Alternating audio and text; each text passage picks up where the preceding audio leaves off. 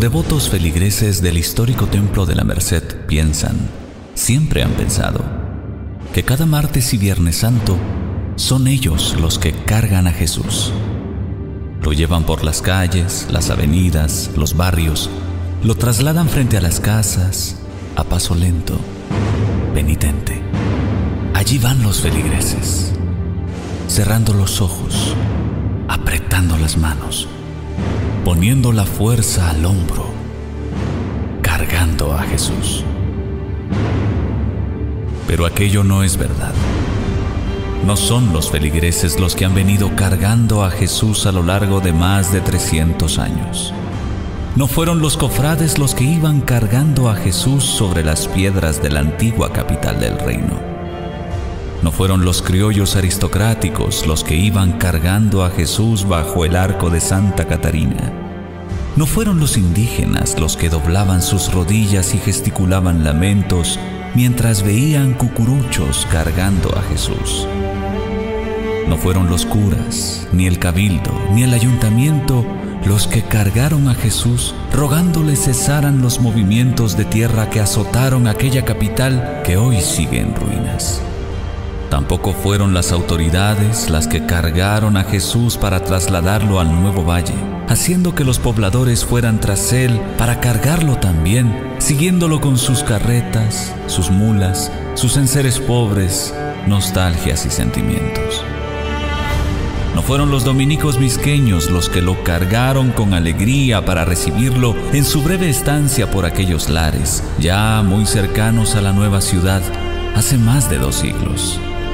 Y no han sido desde entonces los devotos cargadores, los cofrades, los predicadores, ni los sacerdotes, ni los conservadores, ni generales, y tampoco las autoridades quienes han venido cargando a Jesús rogándole por su pueblo, por el valle, porque cesen las sequías, porque acaben las tormentas, porque se domine la tierra y se calmen los temblores, porque haya consuelo ante el miedo de los vecinos y pobladores, porque zanjen las penas, porque haya verdadera paz en las almas, en las casas, en las familias, porque se bendiga Guatemala, porque se bendiga Guatemala.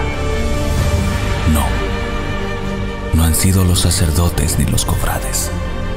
No son tampoco los devotos cucuruchos los que han venido cargando a Jesús de la Merced desde que salió de las manos artísticas de Mateo de Zúñiga en aquel lejano año de 1654. No son ni han sido quienes lo han cargado. Es Él, es Él, es Él, quien durante más de 300 años ha venido cargando con todos en su cruz, cargando con su pueblo.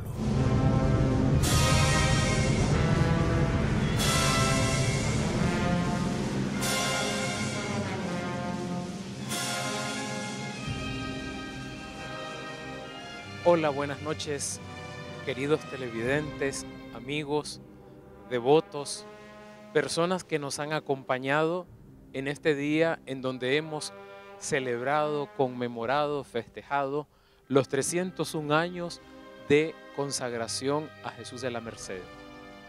Hace un año exactamente este templo estaba rebosante de gente, de flores, de cortinas, de arreglos, de alegría, de consolación.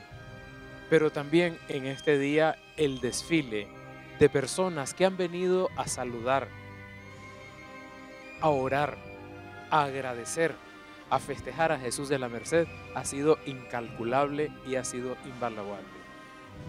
Este templo de la Merced con sus paredes mudas, testigos, celosas guardadoras de secretos, de historias, de devoción, de fe, de súplica, de llanto, son también testigos hoy de la expresión de un pueblo que ama, venera y quiere a Jesús de la Merced.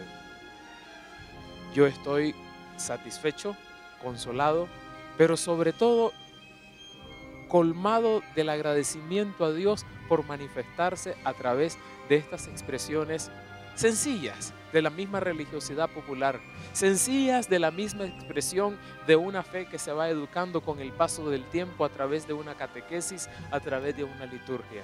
Sencillas porque nacen del corazón y porque están cimentadas en el amor de Dios. Muchísimas gracias por ser parte también de este proyecto de eventos católicos, que nos han facilitado sus cámaras, que nos han facilitado sus audios. Ustedes se darán cuenta que las entrevistas, las manifestaciones, los testimonios de las personas que han estado con nosotros durante todo este documental han salido del corazón, pero sobre todo han salido de esta fe a Jesús de la Merced. Que Dios les bendiga, que el Señor siga protegiendo sus hogares, que bendiga esta nuestra querida Guatemala, pero que sobre todo la gracia y el amor de Dios se siga manifestando en este querido templo de la Merced. Muchas gracias y bienvenidos.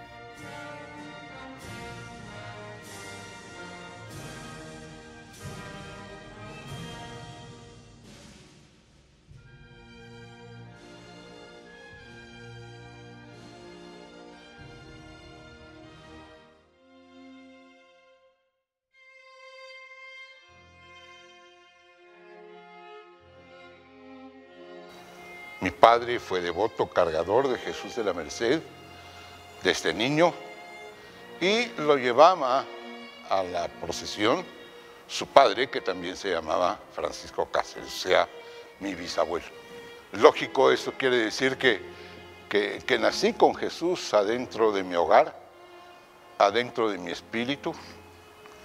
Y un día, alrededor de 5 o 7 años aproximadamente, eh, una de mis tías me dijo que podría venir a la Merced porque eh, se presentaba la oportunidad de que el, párroco de la iglesia estaba interesado en hacer eh, acólitos o una inducción acerca de la devoción de Jesús de la Merced.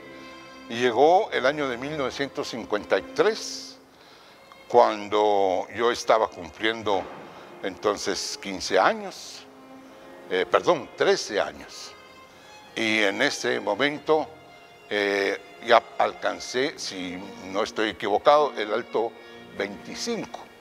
Es decir, que desde entonces cargo a la imagen de Jesús con el anda chiquita, me recuerdo que tenía algo así como 36 brazos aproximadamente, hasta la fecha. O sea, este año cumplí, gracias a, Jesús de la Merced, 65 años consecutivos de llevarlo en hombros.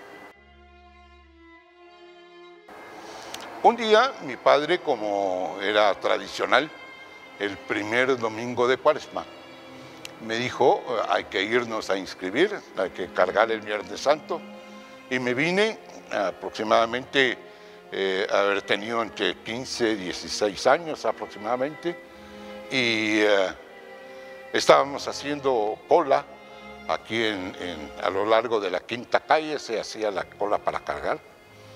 Y eh, cuando entrábamos se dividían en dos partes los, eh, las inscripciones. Al lado derecho, que era la mesa que inscribía el licenciado Raúl Valevillano, y al lado izquierdo la mesa que inscribía don Carlos Oliver. Es decir, era un equipo alrededor de cada uno de ellos. Eh, en ese momento eh, que yo entraba, saludó mi papá a don Carlos y don Carlos se me quedó viendo y me dijo, vení para acá. Y entonces mmm, yo, para serle sincero, me temblaban las canillas y don Carlos me llamaba, algo bien mal lo había hecho. Y entonces me dijo, sentate aquí, agarró un pedazo de papel, eh, me dio su pluma y me dijo, escribí tu nombre. Y escribí mi nombre, tienes buena letra, así es que vas a ayudar. Entonces se volteó y, le dijo a mi papá, me lo dejas y que así empiece a ayudarme. Yo feliz, encantado de la vida, imagínense qué belleza voy a, poder trabajar, a a poder servir a Jesús de la Merced.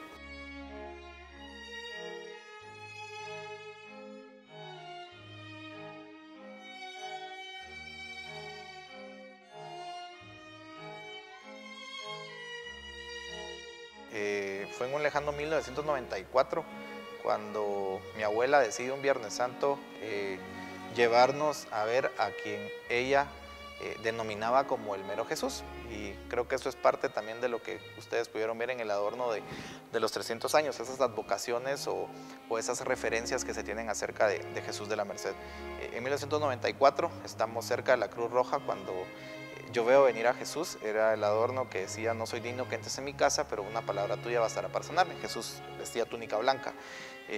yo le pregunto a mi abuela, ¿y él quién es? Y la respuesta de mi abuela es, él es Jesús de la Merced.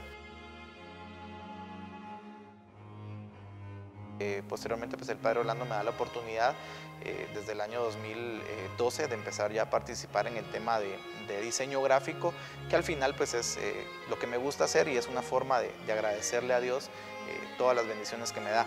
Eh, es un trabajo eh, silencioso, siempre lo digo y a veces el padre me regaña. Eh, pueden buscar mi nombre en cualquier documento de la Merced y difícilmente lo van a encontrar porque no lo suelo poner y no es porque no me guste, sino porque considero que en el anonimato de un trabajo como este está esa entrega y ese agradecimiento hacia él por todo lo que me ha dado.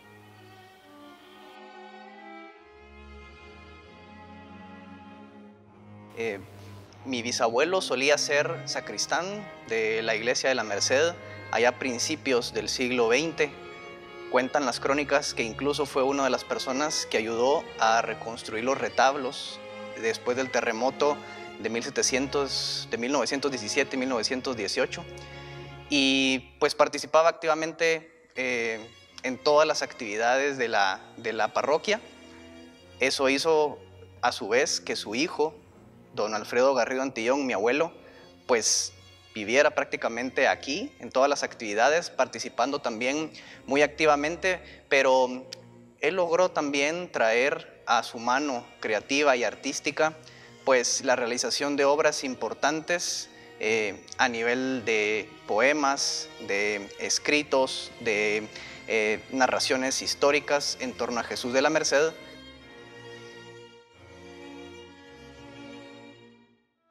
Yo crecí Em, pues en aquellas visitas a la casa de mi abuelo, encontrando muchos cuadros y fotografías, algunas pinturas y muchos recuerdos colgados en las paredes, manuscritos en torno a historia y poemas relacionados con Jesús de la Merced en su escritorio.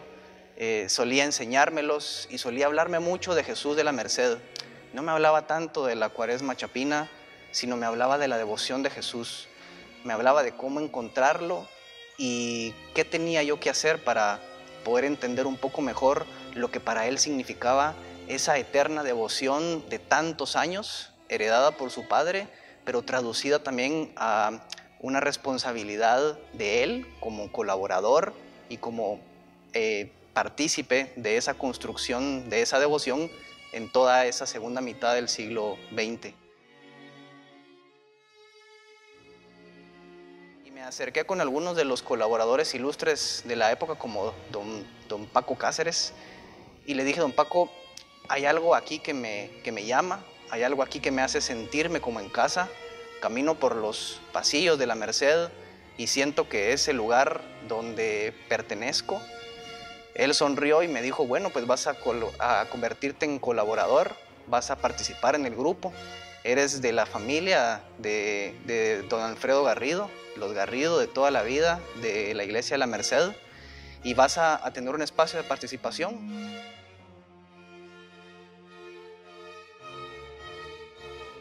Empecé a participar siendo muy chiquita, cargaba en la procesión infantil y pues posteriormente empecé a acompañar la procesión de Viernes Santo. Mi primer turno me lo regalaron en el camino y y fue muy emocionante porque quieres cargar este turno. Yo, sí, ¿verdad? Y yo creo que casi ni daba el alto. Pero logré cargar, fue hace muchos años. Y fue, fue el inicio de, de toda una vida de estar aquí, de toda una vida de fe, de devoción, de entrega, de trabajo, de mucha alegría y de mucho compromiso. Y como les digo, desde la casa, el trabajo que siempre decía mi papá que no se miraba, ese trabajo silencioso y escondido, pues también aprendí a hacerlo y, siempre buscábamos cómo, cómo mejorarlo.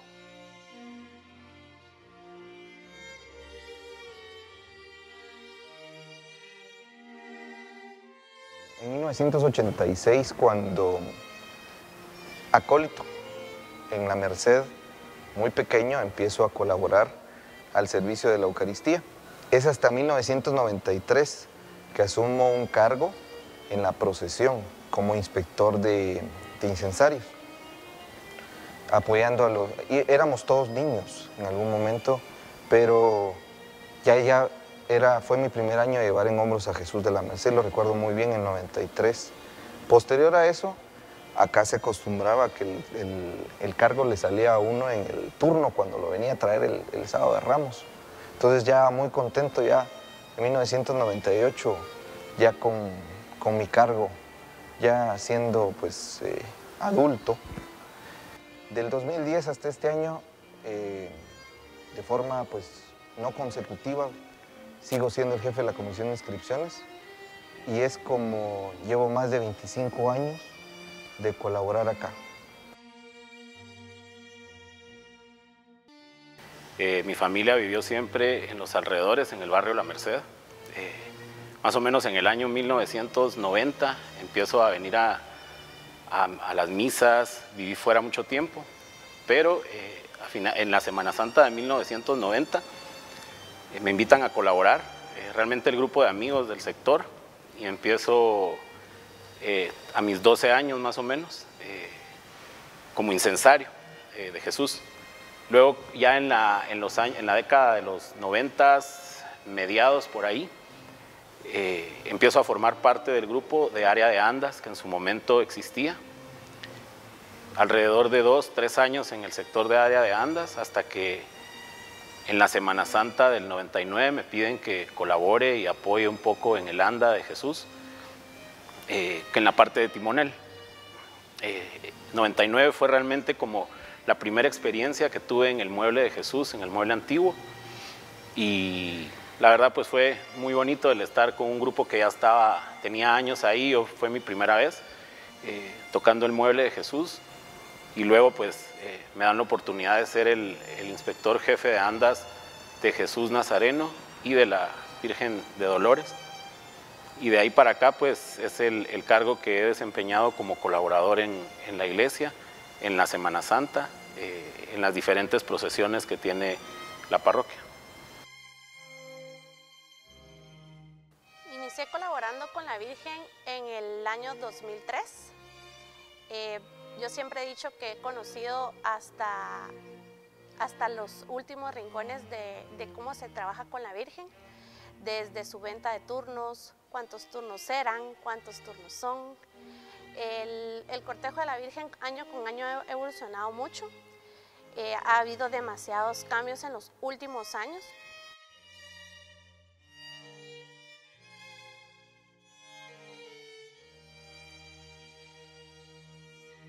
Quizás fue en 1999 cuando tuve la oportunidad nuevamente de volver a acercarme un poco más gracias al grupo de colaboradores que realiza y organiza la procesión de Jesús resucitado.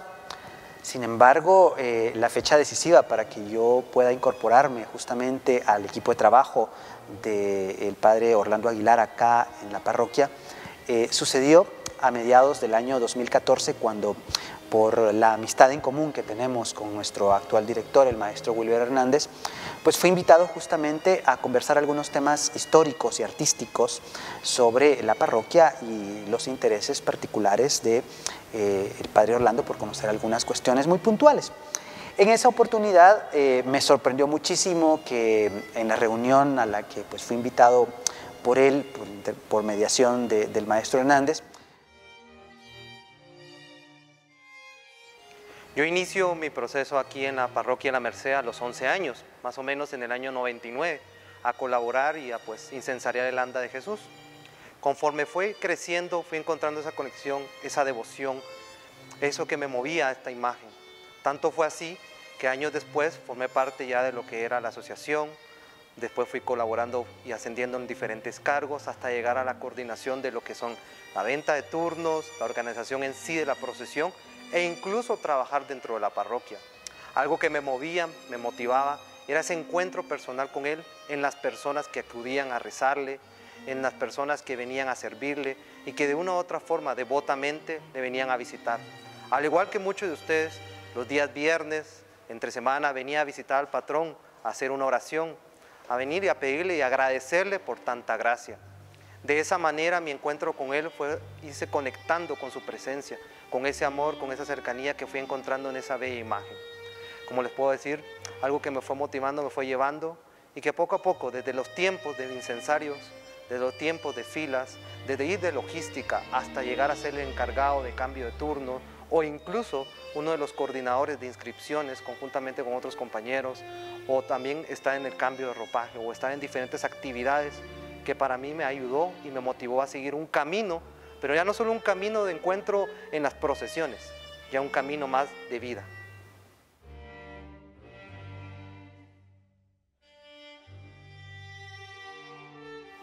En el año 2000 inicio acá en la Merced con la procesión de Jesús resucitado, en la cual pues eh, se me hizo la invitación y pues eh, acompañé ese cortejo procesional.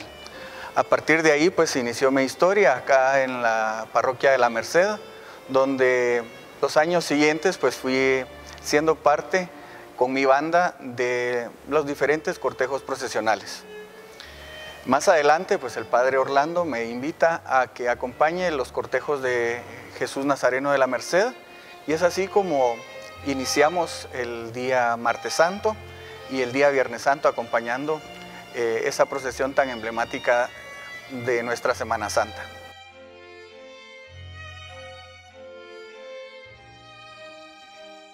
El primer adorno que yo me recuerdo de que tengo en la memoria, o sea, de Jesús de la Merced es el de, el de los espejos, el adorno morado de 1989.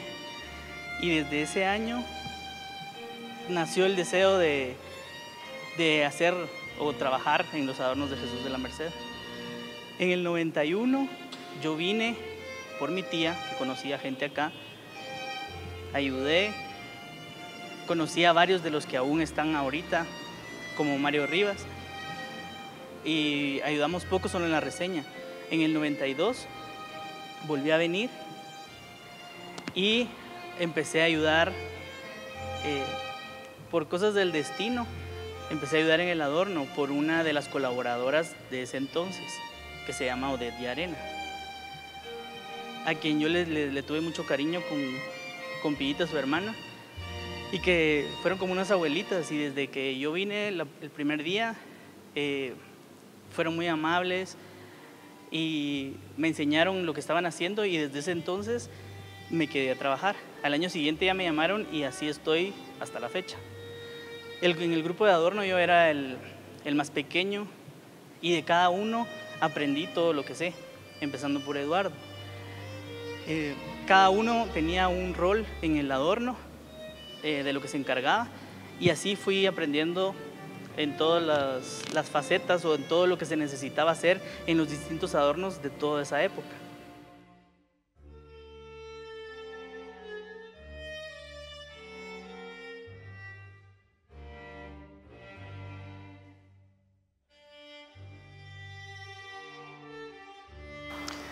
Mi experiencia dentro de la Merced ha sido muy especial debido a que en un momento determinado, como les contaba en un inicio, llego por una necesidad de salud de mi hijo.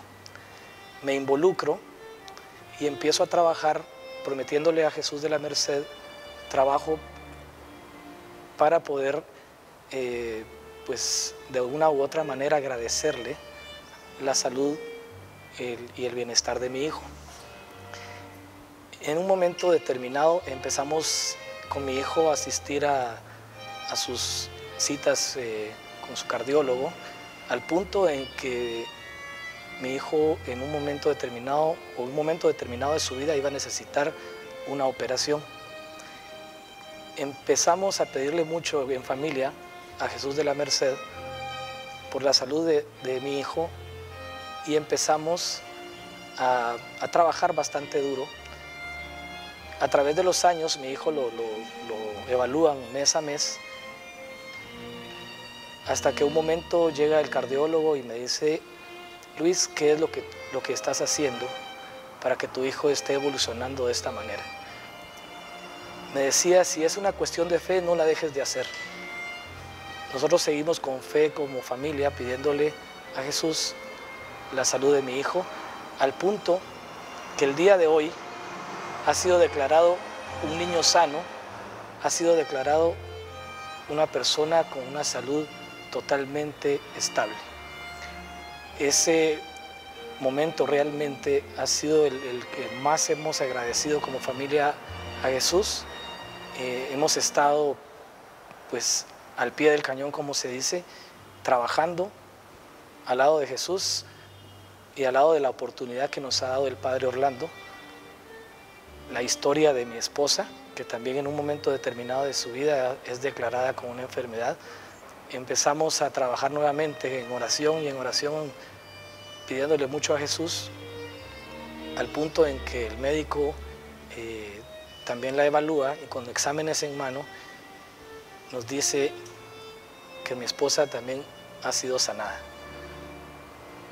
Solamente los milagros de Jesús de la Merced los que pueden hacer posible este tipo de, de vivencia, este tipo de milagros que solamente Jesús Eucaristía a través de la imagen lo puede lograr.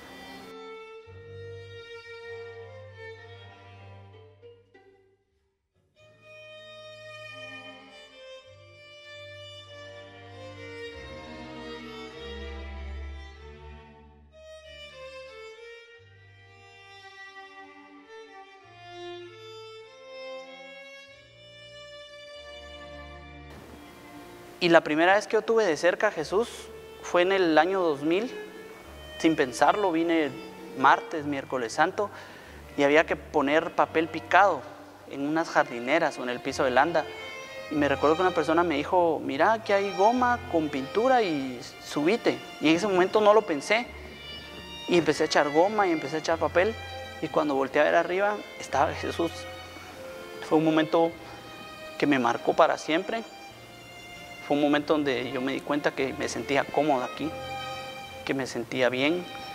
Y fue donde Jesús de la Merced se volvió como que parte de mi vida y me ayudó a que yo pudiera seguir colaborando aquí y lo he hecho desde, desde que les mencioné en el año 98.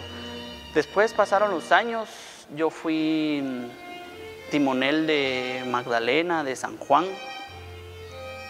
y en el año 2005 recuerdo que en la procesión de la antigua, yo me desempeñé en el cargo de cambio de turnos, una experiencia muy bonita, porque uno en realidad es donde tiene contactos, si no bien con todos los devotos de Jesús, con la mayoría. Y en la Semana Santa me tocó ir de, de Timonel de la Virgen, fue el primer año que lo hice. Después, conforme pasaron los años, eh, dejé de colaborar en la procesión en sí, pero empecé a colaborar más de lleno con el adorno.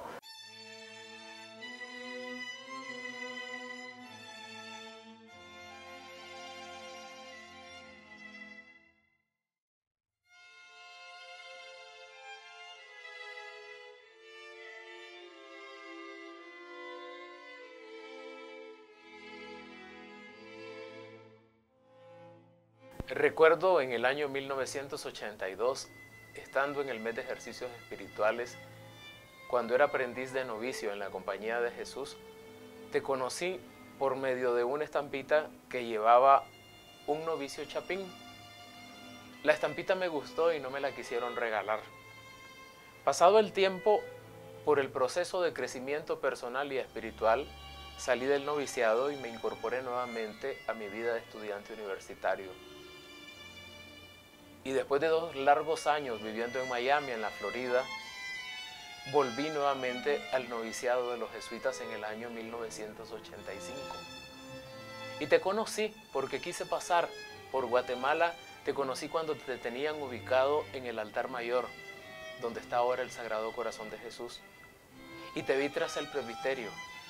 Pero nunca me imaginé, nunca, después de 32 años de estar en la compañía de Jesús, que te iba a tener tan cerca, que tu mirada se me iba a quedar clavada en el alma, de que iba a ser tu servidor, de que iba a ser pieza clave en tus 300 años, en el bicentenario del templo y en tantos acontecimientos hermosos de la Merced, y solamente la mano de Dios y la mano tuya a través de tu querida imagen era la que me iba a guiar. Cuando me destinaron de párroco, vine así a conversar cara a cara con vos y vine a poner mi vida y mi servicio y la misión en tus manos. Y así como lo hice con San Judas Tadeo allá en su camerino, también lo vine a hacer con vos. Porque realmente, y la prueba de ello es que todos estos años he estado bajo tu protección y tu merced, tu, tributo, tus cucuruchos, tus devotos, tu gente que te viene a ver cada viernes, cada día, a saludarte, a rezarte un Padre Nuestro y a implorar tu protección. Yo he sido testigo de que les has protegido y seguís cuidándolos con el amor y con la ternura que solo esa mirada tuya puede darnos. Yo solamente tengo que darte las gracias. Las gracias porque este culto que me ha tocado enaltecerte y levantarte, y levantarte porque ya estabas en la cumbre, ya estabas en los umbrales de Dios, pero la devoción y, el mismo boato y, y todo lo que había giraba en torno a un sueño pasivo. Y quise que la juventud te conociera, y quise que las mujeres te cargaran, y quise que crecieran tus andas, y quise que realmente te siguieran amando para que se perpetuara a través del tiempo esta devoción eterna que ya los mayores, que ya descansan en las manos tuyas en el cielo, pudieran realmente ser ellos los que promovieran a las generaciones que vienen detrás. Y te llevo aquí, y no solamente con la medalla, y te la voy a enseñar y se la voy a mostrar a los que me miran en este momento en las cámaras. Muchos de los encargados que has tenido a través de los años, te colocan una medalla en tu pecho para que lo lleves en el corazón. Y ya te llevo en el mío porque sé que me cuidas y me proteges. El día que decidas, el día que te aburras, Jesús de la merced de mí, te la dejaré colgada en tu pecho para que seas vos el que me llevas en tu corazón, aunque yo te tenga en el mío espiritualmente. Ha sido difícil, han sido unos años muy duros, han sido unos años muchas veces de intrigas, de calumnias, de malas apreciaciones. Han sido unos años durísimos en los que he venido a llorar solo aquí a la medianoche con vos.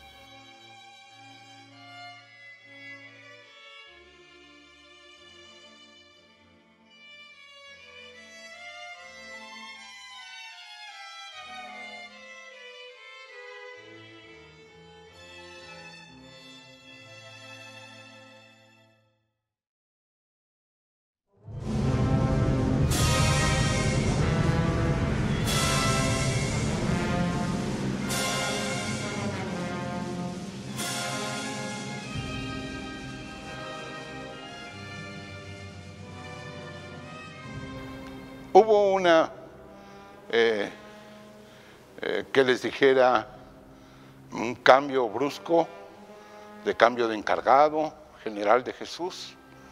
Eh, en el momento de mi retiro se suscitó al poco tiempo, si no estoy equivocado, mi retiro fue a finales del año 98. Es decir, ya en el 99 había un nuevo encargado de Jesús porque Raúl se había retirado. El licenciado Valdeavellano, eh, eh, que, él, no podía creer que, nunca iba a estar, a abandonar a Jesús, pero su estado de salud era muy delicado y ya terminó su, parte como de encargado general. Eh, vinieron encargados generales, como ustedes saben, Manuel José Andreu y el doctor Arturo Cepeda, Vivimos eh, una época en que hubiéramos querido hacer una serie de innovaciones, pero los recursos económicos eran siempre muy difíciles. Siempre estuvimos empeñados en que los turnos no tuvieran un precio. Yo me recuerdo cuando costaban cinco quesales, pero llegaban 10. No creo que hayamos llegado en mi época, disculpen que mi memoria me falla, pero no llegamos a 20 quesales. Eh, ese, valor eh, era muy poco para lo que teníamos que hacer. El anda que, tradicional, que tenía 50 brazos, eh, necesitábamos algo más de dinero y entonces dispusimos con el licenciado Valeriano hacer la extensión. Nos pasamos cuatro brazos adelante más y cuatro brazos atrás. Nos daban entonces 58 brazos y nos costó, no tienen ustedes idea, pero bendito sea Dios, siempre, especialmente los cargadores del turno extraordinario de salida y de, entrada que querían tanto Jesús, más los de salida, siempre fueron maravillosos. Colaboraban de la mejor manera y espontáneamente, sin, fijar, eh, eh, como ustedes saben perfectamente, no existían comisiones de honor, no habían turnos extraordinarios y demás. Única y exclusivamente la salida y la entrada que en, esos, en ese tiempo ya se asignaban única y exclusivamente a todos los servidores de Jesús que durante su procesión habían trabajado y habían prestado sus magníficos servicios, se les daba como premio la entrada para cargar la entrada, que era algo preciosa y solemne con la marcha del señor Pequé, etcétera, etcétera, que ustedes conocen perfectamente bien. Eh, después se presentó el cambio, recuerdo que Eduardo Andrade estaba colaborando con el padre Aguilar, eh, todo el mundo tenía muchas dudas, cómo iba a ser ese cambio, qué era lo que pasaba.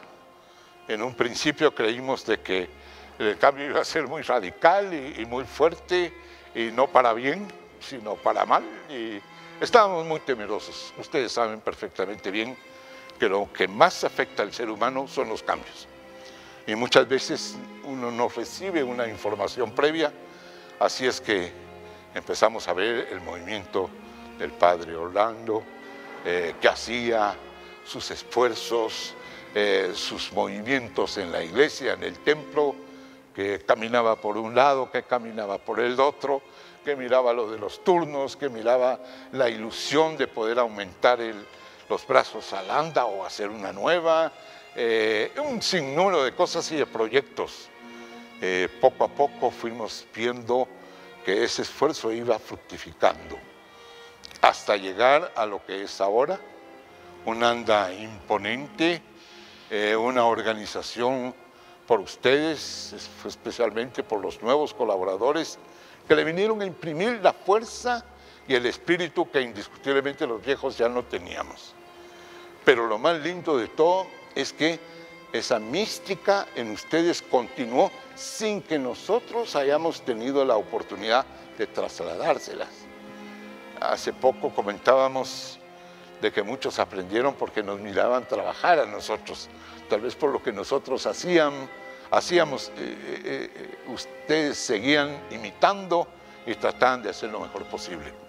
Pero los cambios fueron tan grandes que la procesión del Viernes Santo, si antes era preciosa, inmensamente bella y solemne, hoy lo es cada día más señorial, cada día más devota, cada día con más influencia hacia la devoción al Señor de la Merced y también a la Virgen Santísima. Hace poco comentaba que nosotros teníamos la impresión de que la Virgen la teníamos, no es cierto, pero la sentíamos que estaba descuidada, hecha a un lado ante la imagen de Jesús. Y hoy eh, eh, la, imagen de Jesús en su anda, su vestimenta, su preparación del anda es, es preciosa. Eh, yo les digo a ustedes de que eh, voy a hacer todo lo posible para que este año pueda cargar a la Virgen, porque eh, se ve preciosa y, anteriormente no mirábamos esos cambios. Llega el padre Orlando, quizás en el momento ideal para poder tomar las riendas y, y, darle cabida a esa celebración tan importante, pues que para nuestra generación obviamente era un privilegio poderla vivir y poder participar activamente y él tiene esa habilidad administrativa de poder extraer cada uno de los talentos, creatividades y aportes de un grupo de colaboradores ávido por eh, participar, por em, aportar algo constructivo hacia esta devoción, pero sobre todo por darle una nueva era, entender que el mundo evoluciona, entender que lo que hizo grande la procesión de Jesús de la Merced en el siglo XX fue que supo evolucionar, fue, fue que supo traer nuevos elementos de identidad hacia ese grupo de cucuruchos que salían a esperarlo cada mañana de Viernes Santo y, y poderlo llevar hacia nuestra nueva era.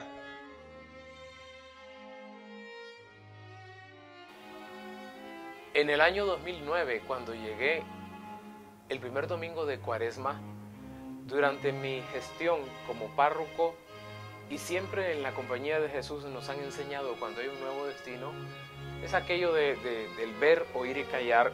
Me dediqué a observar no la actividad cultural o religiosa, sino el actuar de las personas.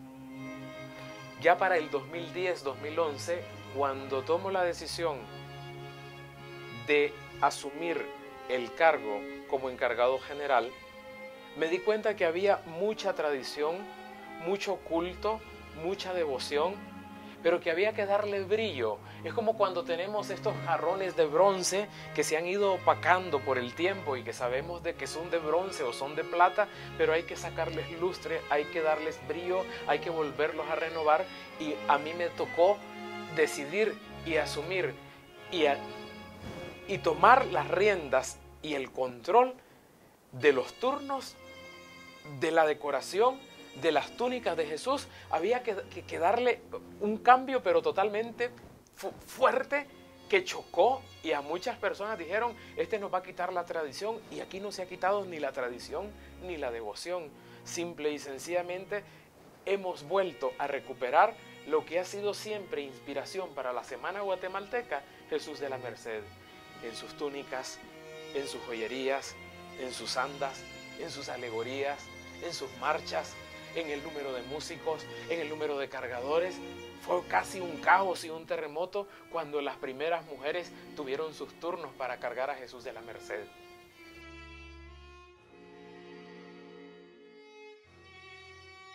Mi vivencia aquí en la Merced, como yo les decía, inició a principios de los años 80 con las inscripciones. Eh, me di el gusto y el lujo de compartir eh, esos eh, almuerzos que eran en la casa del licenciado Valdevellano. Recordemos que se cerraba al mediodía y a las 2 de la tarde nuevamente iniciaba las inscripciones. Eh, él contaba tantas anécdotas en esas sobremesas. Eh, ayudarlo también a la hechura de turnos. En ese tiempo recordemos que no, no habían computadoras, sino que él hacía todo el proceso de que hoy en día lo hace una computadora muy fácilmente.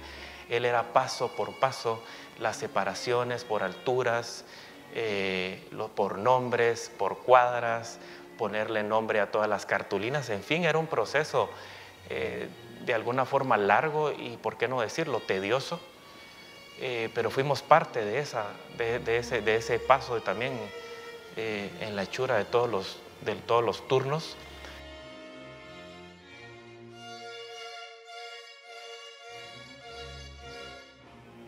aproximadamente en el año 2000, por decir una fecha para tener una idea de hablar, em, ya se terminó eh, la época en que yo participé, fue hasta 1998 exacto. Em, no llegábamos a 60 turnos. Es decir, creo que estuvimos en el turno más grande alrededor de 62 turnos, eh, con 58 brazos. Eh, los devotos cargadores han subido tanto que ya hoy es completamente distinto. Les contaba al principio de mi exposición que extendíamos un sobre mm, tenía una hoja que era el original, que se quedaba en propiedad del que había sacado su turno una copia que era la que servía para que el encargado del CARDE se llevara al control, la procesara, y el sobre en sí era un tercer turno. Ese turno llevaba el nombre, el número correlativo y el alto. Ese turno se procesaba eh, de tal manera que se ordenaba, en primer lugar, había una serie de fases. Eh, quiero decirles que ese trabajo se hacía en el comedor de la casa del licenciado Vallavellano. Eh, eran unos ocho días de trabajo aproximadamente, pero sí, eh, de lo más grosero y tupido, para poder distribuir en diferentes formas, tomando sobre la base de la altura y sin contar los turnos especiales, como eran los turnos del parque, como eran los turnos de los bajos, que era la parte final de la procesión. en mi primer turno, por ejemplo, y era el de los patojos, era alrededor de altos de 30 para 25, era cerca del Parque Colón cuando ya Jesús iba entrando y ya prácticamente Jesús ya tenía sus ruedas, el anda, pero ya prácticamente tocaba las, las ruedas, la parte inferior del anda. Em, el trabajo era arduo, muy tedioso, pero algo increíble era exageradamente difícil que nos equivocáramos. Ahora veo de que tienen un equipo ustedes maravilloso, que lo trabajan eh, de una manera mucho más práctica, mucho más sencilla, pero aún así eh, el procedimiento que utilizan es de mucho control, de mucho orden y bendito sea Dios con todos los avances de la computación y de la metodología que ahora se tiene a mano y a disposición. Hablar de las inscripciones acá en la Merced es un poquito mm, eh, complicado porque ha tenido muchas etapas, muchos cambios. El más estable considero yo que ha sido el que se ha mantenido durante estos últimos tres años, eh, que es el bancario. Pero les quiero, les quiero contar, nos remontamos más o menos al año 2010, ya con su servidor como jefe de la comisión, los procesos de inscripción pues eran entre manuales y entre computadora. ¿Qué significaba eso? Que el devoto venía con su carnet físico, que tenía una serie de, de controles, que era una calcomanía especial, un sello, verificador, una firma, y eso venía el devoto, se medía, pasaba a una computadora donde registraban el dato nuevamente, le sellaban el carnet y le emitían una contraseña nueva. Así empezamos nosotros con ese proceso de innovación a decir, tenemos que cambiar. Sin embargo, nos vamos topando con que los devotos de Jesús de la Merced todavía son devotos de que les gusta venir a inscribirse a una fila, encontrarse con el, amigo cucurucho, saludarse, y entonces fusionar esas dos situaciones esas dos costumbres, esas dos devociones que tenían, porque no es solo encontrarse en la procesión, sino saludarse con el amigo cucurucho en, la inscripción, eso era bien difícil. Entonces empezamos nosotros en ese proceso. Sin embargo, los libros, no sé si ustedes sepan, pero aquí en la Merced se emite un libro de registro de devotos cargadores, en donde está ordenado de forma alfabética quienes cargaron cada año a Jesús de la Merced. Por ahí pueden ver fotografías y los libros están registrados todos los que llevaron eh, en hombros a Jesús. Sin embargo, históricamente solo aparecían los nombres, los apellidos y los nombres. Ahora aparecen apellidos, nombres, el turno. Eh, ha cambiado mucho porque tenemos incluso el DPI, por los homónimos, la cantidad de nombres parecidos que hay, pero es cuando llega en el año 2013, cuando nosotros entramos con el cambio más, más duro, si quiere verse así, para el devoto. Ya no venir a hacer fila, facilitarle una X cantidad de meses durante el año para que pague su turno en el banco. ¿Qué se complicaba? La altura. Entonces van entrando procesos de cambio a la devoción o al proceso en la procesión. Yo sé que para muchos el no entender esa parte o el no estar de acuerdo, pues es válido. Pero si lo vemos como una innovación y un proceso de cambio en la inscripción, ustedes se van a dar cuenta que ha facilitado que unir a una generación de antiguos devotos con los nuevos, con esos jóvenes y esos niños que crecieron con la procesión, con el niño a la demanda. Y es ahí donde vamos llegando a estos años, donde todos esos procesos cambian. En el año 2018, la parroquia asume eh, como tal eh, la organización de la procesión infantil, la procesión del niño de la demanda. Y es ahí donde cambia el proceso, porque había que unificar y cómo los jovencitos de 12, 13 años ya tienen oportunidad de sacar eh, el turno de salida o el turno de entrada automáticamente por la altura y eso les daba un derecho que antes existía y que se retomó nuevamente a tener la opción de cargar a Jesús de la Merced, obtener un código sin necesidad de hacer esas filas que se dan ahora para madrugar.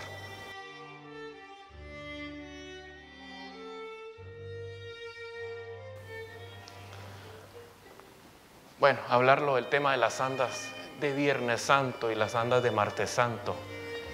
Eh, pues yo tuve a cargo esta ejecución de este proyecto. Iniciamos con las andas de Viernes Santo, cuando el Padre Orlando me habló a mí y me dijo que eh, quería que hiciéramos unas andas un poco más livianas y más grandes. Y la idea fue replicarlas completamente, como, como hoy en día se dice, clonarlas. Se copió desde el más mínimo detalle, los números, la talla, el color, eh, hasta los timbres. Los timbres se mandaron a traer fuera, no, aquí no, no se encontraban localmente, se mandaron a traer incluso fuera para que ese mismo sonar de esas chicharras siempre características aquí de la Merced no perdiera esa identidad del cortejo. Se hizo la ejecución, tuvimos el gusto de trabajar con don Miguel, eh, Miguel Hernández, eh, que fue quien las talló, y con Roberto Hernández, que es su cuñado, que él fue el carpintero que las ensambló. Realmente el proceso de toda esta elaboración se llevó en menos de un año, fue una labor titánica la realización de ello y pues fue como un 29 de marzo del año 2013, pues el Padre las bendijo y acompañó a Jesús ese, ese primer Viernes Santo. Nosotros aquí en la Merced les decimos las andas del Bicentenario, en cada bolillo en el frente dice 1813-2013, recordando esos 200 años de edificación del Templo de la Merced se puso en los escudos que acompañan también a, las sandas y en fin, fue una labor de ver a Jesús ya en sus nuevas sandas ese año, creo que hasta todos nosotros nos sorprendimos de verlo. Y otra ejecución que también tuve a cargo fue la elaboración de las andas de, de Martes Santo. El Padre Orlando nuevamente me volvió a delegar ese, ese proyecto la verdad que aquí fue algo distinto porque el proyecto de Viernes Santo fue, como les decía anteriormente, clonar las andas. Aquí el proyecto salió de la mesa de celebrar del altar, de altar mayor, de, aquí de la iglesia, de la Merced, y ahí fue donde salió la, fachada del mueble. Y bueno, pues ahí sí que fuimos poniendo eh, muchos detalles, aquí ya no, tenemos, no teníamos un patrón que seguir, sino que fue de alguna forma eh, algo que nosotros eh, fuimos creando de cero, tanto ver el, color del mueble, eh, verle la fachada, ver los números. Algo muy importante para nosotros aquí en toda esta nueva ejecución de los muebles ha sido el tema del peso es algo muy importante para, para nosotros aquí en la Merced. Recordemos que el factor tiempo para nosotros de alguna forma nos indica que tenemos que estar aquí en el caso de Viernes Santo a las 3 de la tarde y en caso de Martes Santo tenemos que estar pasado el mediodía. Es una procesión de reseña, es una procesión pequeña. Y bueno, pues también fue satisfacción hacerla en el caso de las andas de Martes Santo, recordamos ya los 300 años de consagración de Jesús de la Merced. de alguna forma, ¿por qué no decirlo? A veces aquí en la Merced, rompiendo esquemas y ver eh, anda sobre anda, que esa anda es pues una especie de catafalco que lo acompaña en Martes Santo, pero ese mismo catafalco se convierte en una pequeña anda, que es su anda de velación, que normalmente se utiliza para su velación de agosto. Entonces fue la incorporación de ese esquema de esa idea de poner una anda sobre otra anda que en Martes Santo lo protege de todas las flores que todos sus devotos le llevan a él y se los ponen a sus pies recordando que ellos sus penas, angustias, preocupaciones, que se las ponen en sus, en sus manos a Él.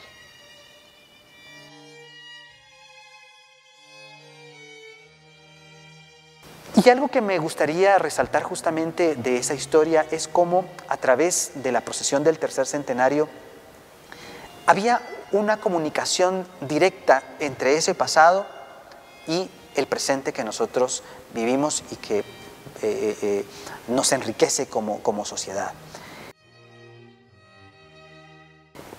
En algún momento de la procesión eh, me preguntaban, ¿qué hay sobre las andas que nos comunique justamente esos 300 años de historia, ese lapso de tiempo que ha transcurrido entre el momento en que el primer guatemalteco en ocupar la silla episcopal de Guatemala, Juan Bautista Álvarez de Toledo, unge a Jesús en la ciudad de Santiago.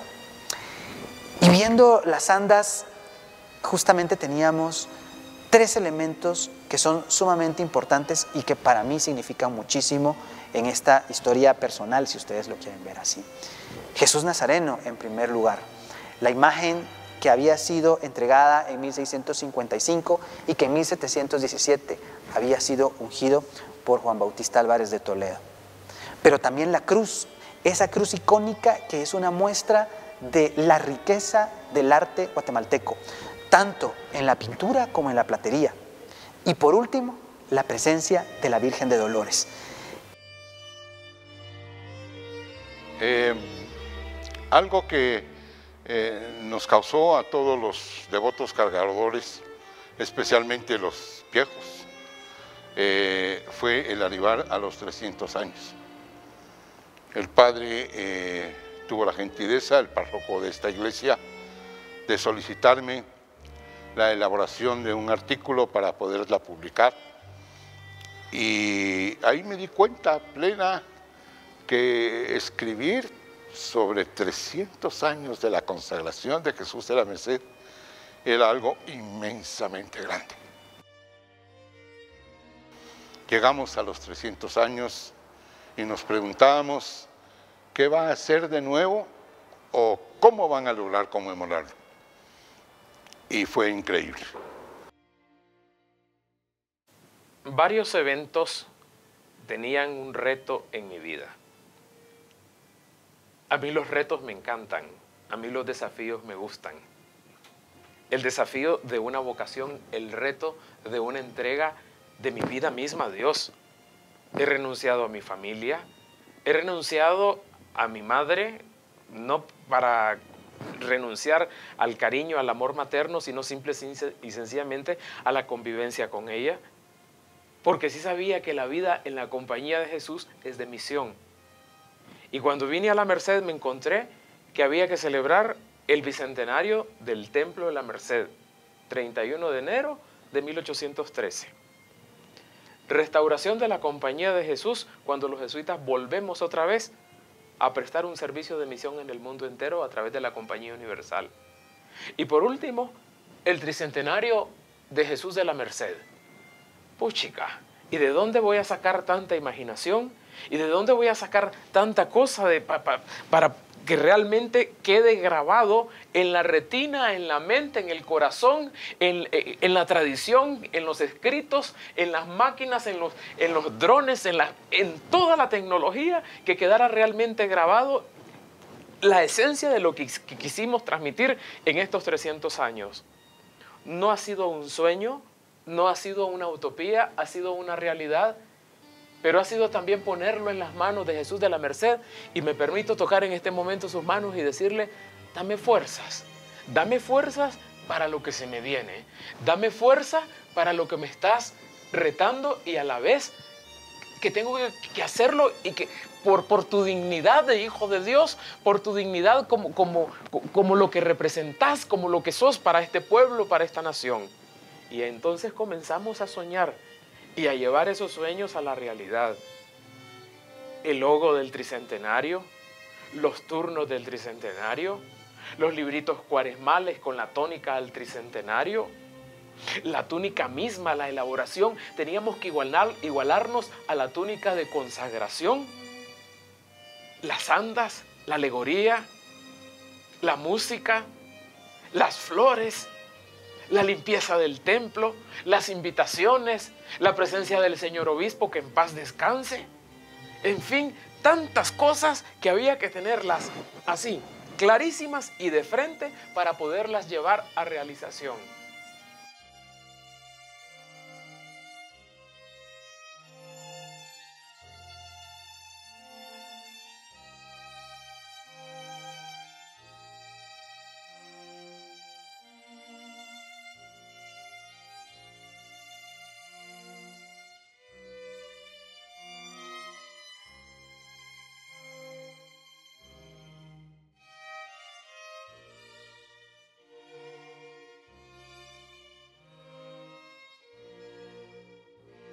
¿Cómo surge el logotipo de, los 300 años de consagración de Jesús de la Merced? Eh, algo importante es de que este proceso inició en el año 2015, eh, cuando nos sentamos en conjunto con el Padre Orlando a tratar de entender y conceptualizar qué era lo que queríamos dejar nosotros eh, como un mensaje hacia el pueblo católico. se tuvieron varios bocetos, fueron tres propuestas. la primera en realidad era un concepto por así decirlo, muy básico y era 100% eh, un diseño gráfico y digamos eh, dentro de un proceso creativo y dentro de una estrategia de planificación eh, para ese tipo de mensajes, eso es lo que suele suceder. La primera propuesta suele ser muy básica. cuando revisamos la segunda encontramos que habían elementos que eran propios de, la identidad de la Merced, pero que había que evolucionarlos hacia, hacia un siguiente nivel lo bonito de esta historia, eh, recuerdo bien fue un martes, estábamos en la oficina del padre eh, haciendo lo que se conoce como un brainstorming eh, acerca de qué ideas podríamos tener y, el padre Orlando me hace una, una, observación y me dice, creo que lo importante es que no solo el cucurucho, sino el pueblo católico entienda cuál es la historia de Jesús de la Merced a través del tiempo. Y ese insight del tiempo es el que al final me sirve para poder construir eso, el icono más representativo del tiempo, que es un reloj. Eh, como ustedes lo recuerdan, pues se formaba de, un 300, pero tenía ciertas peculiaridades. Ese reloj estaba formado por dos leones, que es un icono particular de las andas de, Jesús de la Merced. En la parte de arriba eh, el logotipo mercedario y en la parte del centro el logotipo jesuita, un poco más grande, pero en un segundo plano, siempre con, con la presencia que se tiene que tener. Un detalle que era poco peculiar a la vista o, que no podía ser observado tan fácilmente era que la hora en punto no estaba sobre el 12. La hora en punto se encuentra entre el 1717 y el 2017 y la razón es de que el punto de esta celebración es la consagración, que es la palabra que se encuentra en medio de, las dos horas que marcan el reloj, que son acompañadas de dos cruces de consagración, una hace alusión a las manos de Jesús y otra eh, a los pies ¿Por qué era un reloj el tema importante y por qué se vuelve tan relevante un logotipo como este en una festividad de 300 años?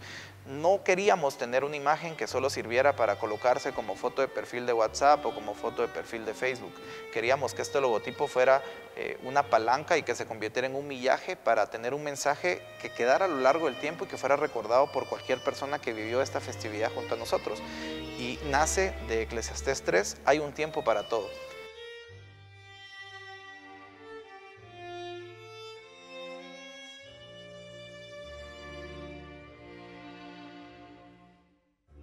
Terminó la Semana Santa del 2017, un adorno que había tocado el tema de los 300 años de consagración de Jesús.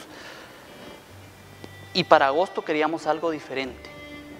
Eh, empezamos la semana siguiente de, de la Semana Santa a pensar los atributos, los nombres o cómo las personas le llaman cariñosamente a Jesús. Entonces tratamos de que en el adorno fuera la simbología de Jesús de la Merced, empezando con la espada, pasando por la abuelita y el niño, no podía faltar el tema del el Jesús de los abuelos. Creo que es algo que, que a todos nos pega.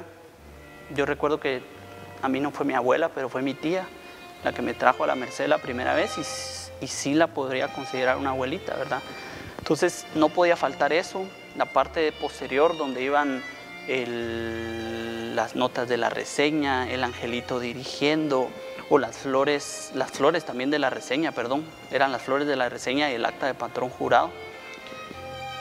Y cuando a mí me dijeron que iba a ir la Virgen, fue una sorpresa que me dejó en shock. O sea, no sabía cómo tomarlo. Me pareció bueno después.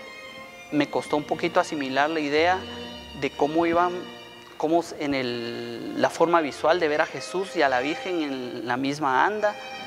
Fue algo que en el adorno, en el grupo de adorno, lo mantuvimos lo más secreto posible. Era la persona que diseñó la estructura, el encargado del adorno, que es mi primo, y yo, bueno, y el padre Orlando, obviamente, que sabía que la Virgen iba. Siempre decíamos que iba a ir un ángel con una custodia. O esa era nuestra excusa que teníamos, o nuestra, lo que todos creían. En realidad, fue difícil que no, que no se dieran cuenta, pero nosotros tratamos de mantener el secreto. Damos inicio el- en la entrega de los turnos de la Semana Santa del 2017. El devoto va a recibir en, su turno una contraseña que le daba eh, pues el derecho a pagar su turno para la procesión extraordinaria del 5 de agosto, del 15 al 19 de mayo. Y esa fue la gran noticia para los devotos de Jesús. Pasado eso, el 28 de mayo eh, se inscribieron los, eh, los nuevos devotos, por decirlo de una manera, eh, en este caso, muchos de ellos que participan en la procesión de la reseña. Para nosotros fue algo bien complicado porque teníamos que darle una razón de por qué si él carga en la procesión de Martes Santo y no en la de viernes no tenía la, la oportunidad de tener la contraseña que le había derecho a pago en el banco y tenía que venirse a inscribir. Sin embargo, para nosotros fue muy difícil lograr que- juntar a los devotos de martes y de viernes porque se duplicaban los registros. Entonces se decide que será solo con los devotos de Viernes Santo. Se abren las puertas del gimnasio del Colegio Loyola. Eran 16 mesas para entrega de turnos y la sorpresa es para las damas. El padre Orlando nos transmite su decisión de querer que sean las devotas cargadoras quien lleven el turno de salida. Originalmente, las damas tenían turnos durante el cortejo procesional, pero no iban a cargar la salida. Incluso la entrada, que era la que estaba destinada para ellas, hubo un proceso de discusión sobre eso porque ustedes saben que el turno de salida no es el mismo que entrada. ¿Y por qué? Por una lógica. Un devoto viene cansado y cuando va a tomar el turno de entrada ya no tiene las mismas fuerzas para llevar en hombros a Jesús. Es un turno bien agotador. Eh, y se decide que las damas van a tener solo turnos ordinarios. Días antes de la entrega de turnos, el padre Orlando nos comunica su decisión y se, tiene que cambiar todo el ordenamiento. Y es totalmente una tómbola electrónica. ¿Y cómo se, se hizo? Las primeras 86 damas que pagaron su turno en el banco fueron las que recibieron esa bendición. Bendición, y se los digo a manera personal porque ustedes no saben los sentimientos que, que se viven en ese momento cuando uno está caminando en la supervisión de cómo están funcionando las cajas para entregar los turnos y ve que una, una señora de 76 años más o menos está destapando la cartulina y se le tira a uno a los brazos a abrazarlo y se pone a llorar y uno llora con ella y no sabe por qué. Y le dice, ¿qué le pasó? Voy a cargar la salida. Y uno no sabe en dónde está la bendición del Señor cuando ve esos momentos especiales. Y así se van dando. En cuanto al proceso de inscripciones, eh, el momento en que se hace la entrega de turnos, ver el rostro de las damas que se les entregaba el turno de salida eh, fue algo eh, muy especial, fue algo que inigualable y algo que no se, pues en ningún lugar se había visto eh, que, una, que las damas pues hicieran el turno de salida de, una procesión, en este caso el tricentenario. Por supuesto que la mañana del 5 de agosto, esa noche casi yo no dormí. Fui de los primeros que vino al templo a saludar a Jesús como lo hago cada Viernes Santo y cada Martes Santo. Y poner en Él y poner en vos, poner a tus pies tanta gente que, viene a decir qué bello Jesús, qué lindo va Jesús, pero sobre todo en el fondo están diciendo, fíjate que te amo, que te quiero, que ahí va mi corazón. Y gracias a Dios el tricentenario ha sido y seguirá siendo por muchos años el mejor momento que hemos vivido aquí en Guatemala gracias a la presencia tuya, muchas veces silenciosa, pero a la vez amorosa en las familias, en los hogares, a través de un cromo, de una estampa, a través de una medalla, a través de un DVD, a través de, a través de los recuerdos, a través de las manifestaciones milagrosas que se han manifestado a través de tu mano protectora, de tu intercesión ante tu Padre Dios, ante nuestro Padre Dios. Es decir, hay tan, tanta vida, tu cruz que ya necesita restauración después de tanto tiempo. Y esa tu cruz simbólica y emblemática que cargas cada martes santo que ya, ya el tiempo no perdona y que pasa por encima de todas las cosas. Pero aquí estamos, llevando a cabo esa obra, esa responsabilidad, ese encargo que me han dado. Cuando Señor te que suena hay dos momentos.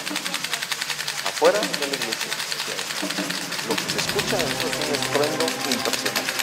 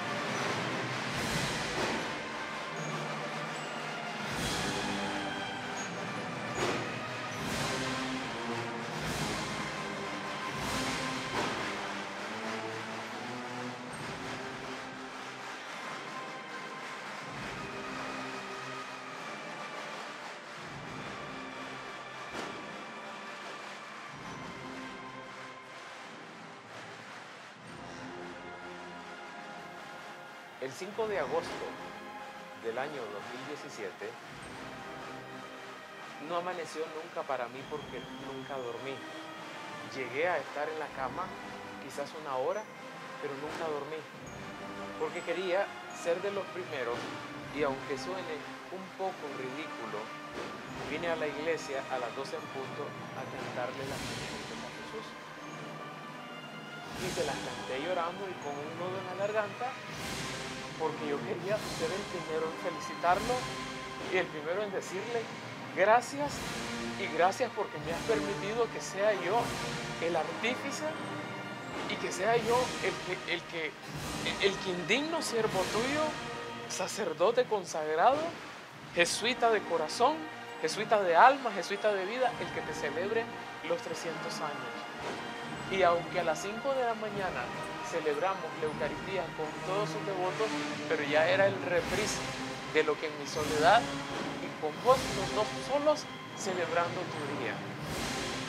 Quise y decidí que la Santísima Virgen de Dolores fuera en el anda de Jesús, porque es la primera que nos llevó a Él, es la primera que nos encamina a Él. Y así como el culto a Jesús y la devoción a Él, y que será a través de ella, es nuestra mamá, es la primera persona, es la primera mujer que te limpió los mocos cuando eras un bebé, fue la primera mujer que te levantó cuando te caíste, fue la primera mujer que te limpió tu sangre camino al Calvario y cómo no darle a ella el lugar en tus 300 años de celebración. Y esa fue la razón ante el desafío de los grandes críticos, ante el desafío de la tradición, la Santísima Virgen de Dolores ocupaba un lugar digno en el anda de su Hijo, en el anda de Jesús de la Merced. Para mí fue apoteósico, fue, fue realmente ver la reacción del pueblo, la reacción de la gente humilde, llorando, no sabían a quién ver, no sabían si ver a Jesús, no sabían si ver a la Virgen, miraban, miraban toda la decoración, toda la alegoría, pero en el fondo estaban grabándose en el alma ese momento único que vivimos ese 5 de agosto.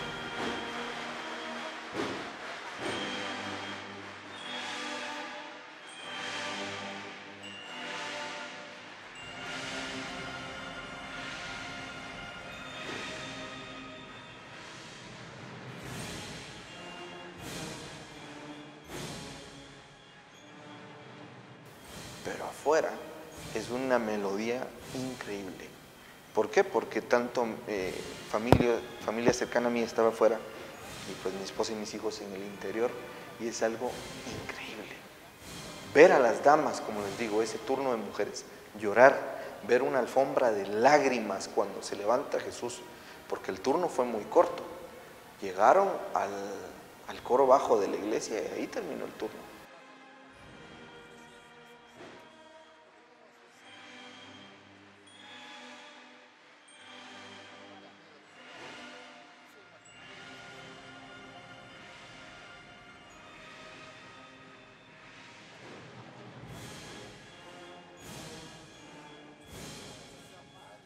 Es el hecho que sean damas quienes cargan el turno 1.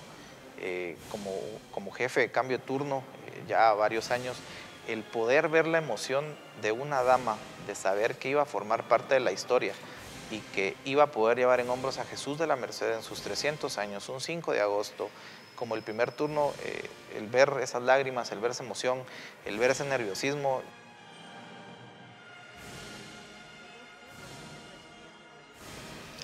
No es fácil explicar la sensación de estar en las vísperas de un 5 de agosto del año 2017 y entender que era la procesión más importante en la que íbamos a participar esta generación.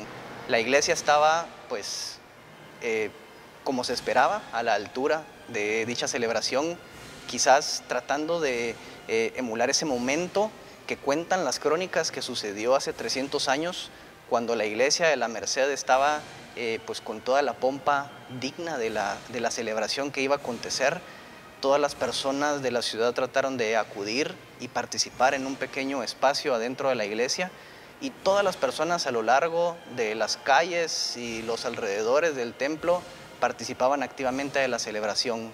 Cada una de las misas fue preparada especialmente por el Padre Orlando y nos pidió total eh, responsabilidad y mm, exactitud en cada uno de los movimientos, en cada uno de los, procesos de organización, en cada uno de los momentos que se tenían que vivir, pero tenía ese tinte especial también, pues él siendo sacerdote nos, ha conferido también la responsabilidad de no solo pensar en Jesús de la Merced como una linda imagen que nos evoca a Jesús, sino también entender que es el momento litúrgico importante, especial, vivirlo junto a Él, a Jesús sacramentado, a través de esta linda imagen que, nos acompaña y entender que toda esa mística importante alrededor de, Él nos, nos, da ese momento de, de comunión con Él.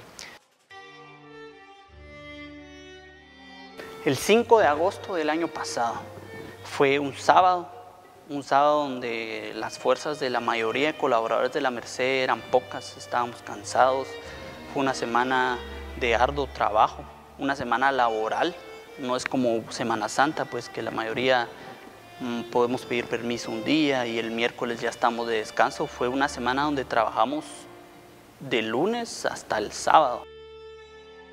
El día de los 300 años, desde que entramos al inicio de todo ese gran acontecimiento, pues la gente venía también muy emocionada, muy contenta, con lágrimas en los ojos de la emoción.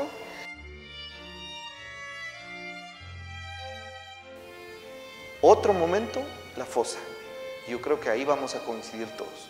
Increíble escuchar la fosa en el atrio de la Merced.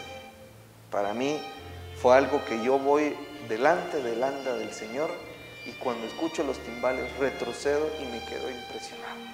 Hay una cantidad de videos en las redes sociales que ustedes buscan ahí y es impresionante ver la ejecución de la fosa, escuchar el estruendo cuando suena esa marcha. Eh, el poder escuchar eh, de Santiago Coronado la fosa con más de 300 músicos en el atrio del templo un 5 de agosto es algo que eh, lo recuerdo y se me enchina la piel. O sea, creo que es uno de los momentos más memorables de ese tricentenario que, que pudimos vivir.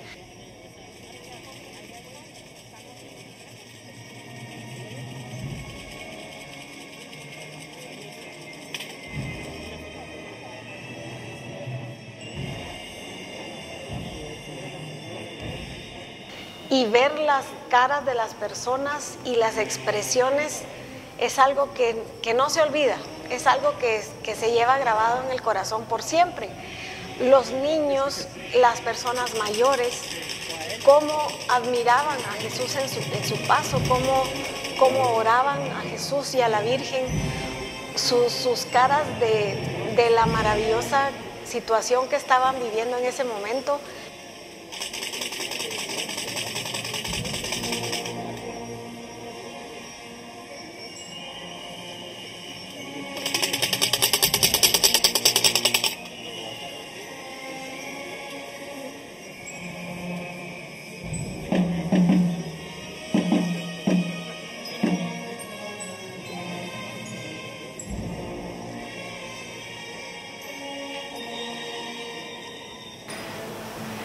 En el año recién pasado que se celebraron los 300 años de Jesús de la Merced, pues eh, fuimos nosotros los encargados de la parte musical de este magno evento, el cual pues eh, nos llevó muchísimo tiempo de antelación preparar una banda que a todas luces eh, se vislumbraba que iba a ser una banda eh, de un número de, integrantes grande.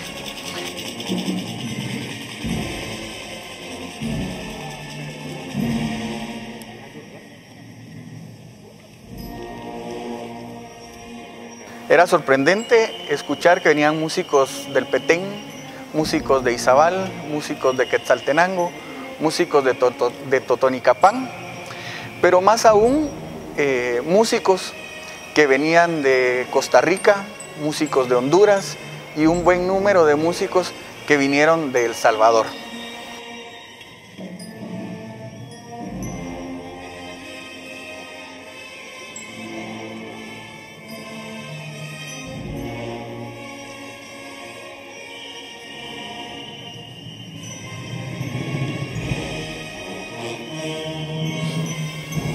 Situaciones y motivos mayores a mí, yo no pude estar en tal festividad.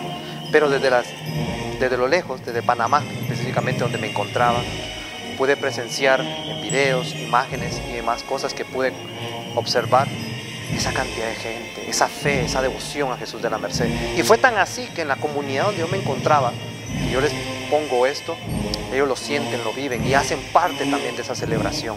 Si es bien, yo me venía preparando desde pequeño a este acontecimiento, al cual a mí me daba mucho, pues que eran esta efeméride de Jesús de la Merced. Al no poder estar, obviamente la tristeza, la desolación, todo se dio. Pero también había más, estaba la alegría de haber vivido, de haber estado cerca de Él, de haber compartido esa devoción, de estar con Jesús de la Merced. Eso me llevó a tener consolaciones e imágenes a mi mente de personas, de cosas donde Él se había hecho presente. Desde un niño que me pedía que me encara, que la acompañara en tal procesión, o que me venía y me visitaba aquí en la parroquia para ver a Jesús de la Merced. Y desde ese cariño y esa alegría de este niño me contagió y me llevó a recordar y a vivir ese sentimiento que Jesús de la Merced había inflamado en mí. Y que si yo estaba en este camino era porque Él me había llamado y yo me había encontrado ahí. Entonces desde la lejanía pude convivir y pude sentir todo este sentimiento, ver el adorno, ver las marchas, ver las procesiones, la algarabía de gente, todo. Y yo todavía hasta el día de hoy se me eriza de piel de recordar y vivir ese momento, aunque sea en Panamá.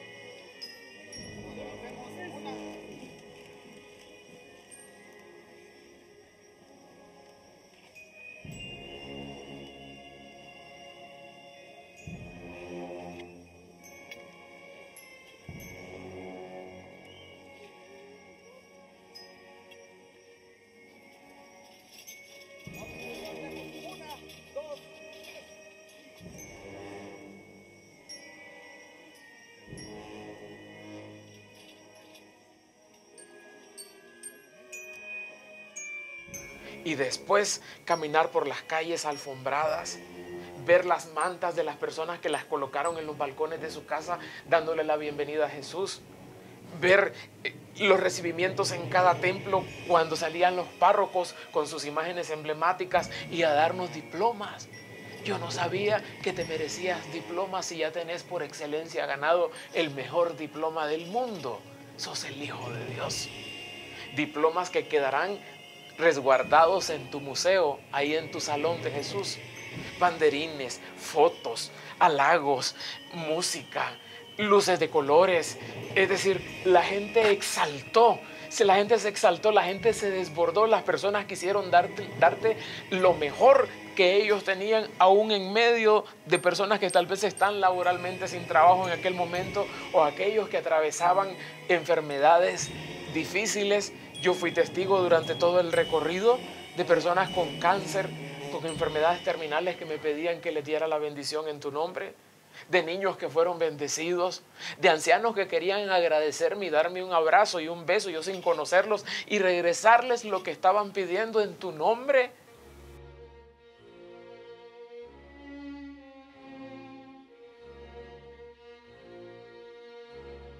La festividad de los 300 años era una festividad para todo el pueblo católico, para todo el devoto de Jesús de la Merced, y que esto que hizo el Padre realmente unió a las hermandades como tales.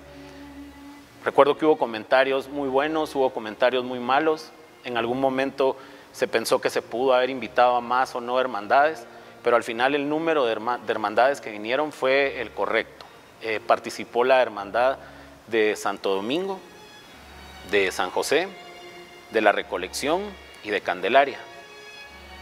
Cuando nos comunicamos con ellos, el Padre me pide que estuviéramos en una reunión y él llamó personalmente a cada uno de los, de los encargados o coordinadores del grupo de timoneles.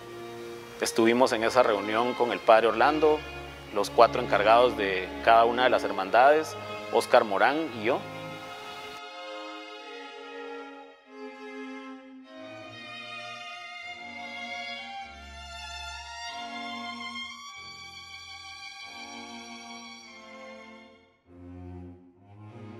Era una procesión diferente, se sentía un ambiente diferente, no el, no el ambiente penitencial o fúnebre que puede existir el Viernes Santo, ver algo como una festividad.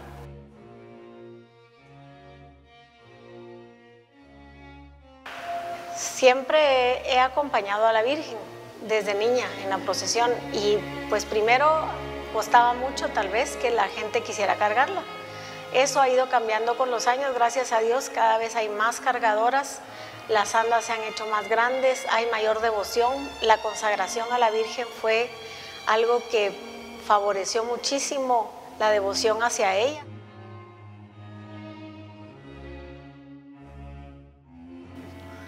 La vivencia del tricentenario fue algo, pues la verdad, muy especial. Recordemos que es una procesión extemporánea. Eh, dar inicio a la procesión eh, a las 9 de la mañana, pero nos citaron temprano y era esa inquietud, esa era, eh, no había visto el adorno. Y cuando vi el adorno y empecé a ver todos los rótulos, lo que significaba eso, lo que quería transmitir en ese tiempo, en ese día, el, el adorno de la procesión, la verdad fue algo muy, muy, muy especial, algo muy intenso que a uno le hizo recordar su paso desde el inicio eh, como decía el, nazareno de las abuelitas, eh, algo muy especial, la verdad. Y lo que me sorprendí es que en el ángulo donde yo estaba parado inicialmente cuando fue la misa, yo no miraba a la Santísima Virgen que la iba acompañando y cuando ya estuve al frente de Jesús y vi que iba la Santísima Virgen, su madre, acompañándola en esa celebración, uy, dije yo, puches, es, algo muy especial.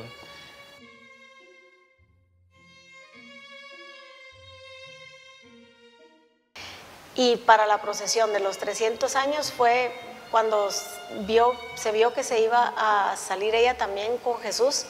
Fue algo maravilloso y para todas sus devotas pues fue una, una situación muy emocionante, un, un evento tan esperado para, para Jesús de la Merced y que, que su mamá, la Virgen, eh, lo acompañara y, y estuviera con él en ese recorrido tan especial, pues fue algo realmente maravilloso y muy emotivo para todas sus devotas. En cuanto a mi papel dentro de la procesión, eh, fue el recibimiento a las hermandades y no solamente hermandades, porque eso era lo que nos esperábamos, ¿verdad? El recibimiento de hermandades. Sin embargo, recibimos eh, instituciones, colegios. Realmente fue un día de, mucha fiesta para las personas. La, gente se reunió, se organizaron, estaban reunidos desde, desde el día anterior, gente para hacer alfombras, gente para colgar flecos en las cuadras en las que pasaba Jesús. Em, y así se fue, empezaron los recibimientos. Posterior al paso por Santo Domingo, eh, pasamos por Correos, que era eh, un, punto que hace mucho tiempo Jesús de la Merced no visitaba. Eh, había demasiadas personas, llegó a volverse un tanto difícil el paso, pero se logró con todos los colaboradores de filas para, para que nos dieran el espacio porque toda la gente estaba desbordada encima de Jesús.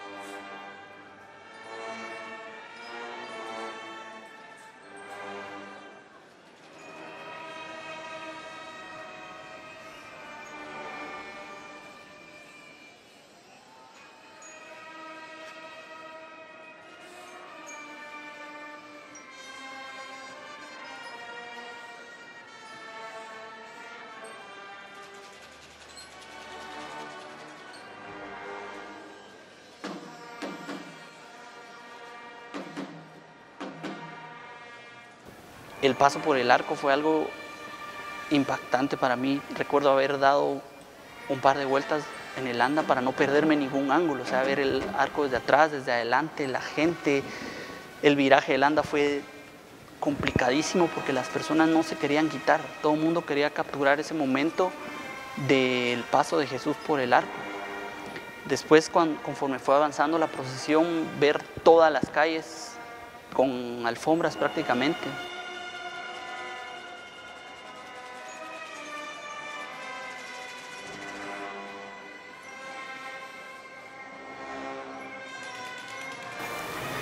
Durante el recorrido pues tuvimos algunos momentos muy especiales, eh, por ejemplo el paso por el arco de correos donde eran centenares de personas los cuales estaban esperando en el mejor lugar para poder ver el paso de Jesús de la Merced, que es eh, inusual que lo haga por este espacio.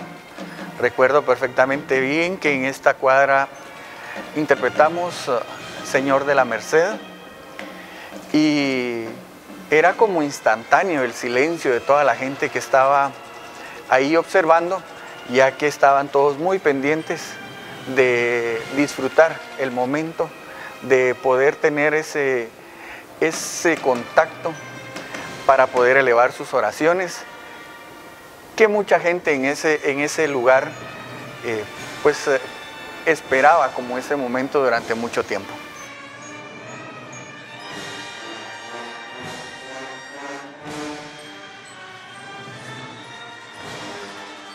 En la procesión de Jesús Nazareno, en la parroquia de Nuestra Señora de las Mercedes, pues hay una conciencia plena, clara justamente de construir constantemente eh, esa identidad, pero no solo esa identidad que nos identifica como guatemaltecos, sino también esa filiación y esa devoción hacia las imágenes que nosotros veneramos acá.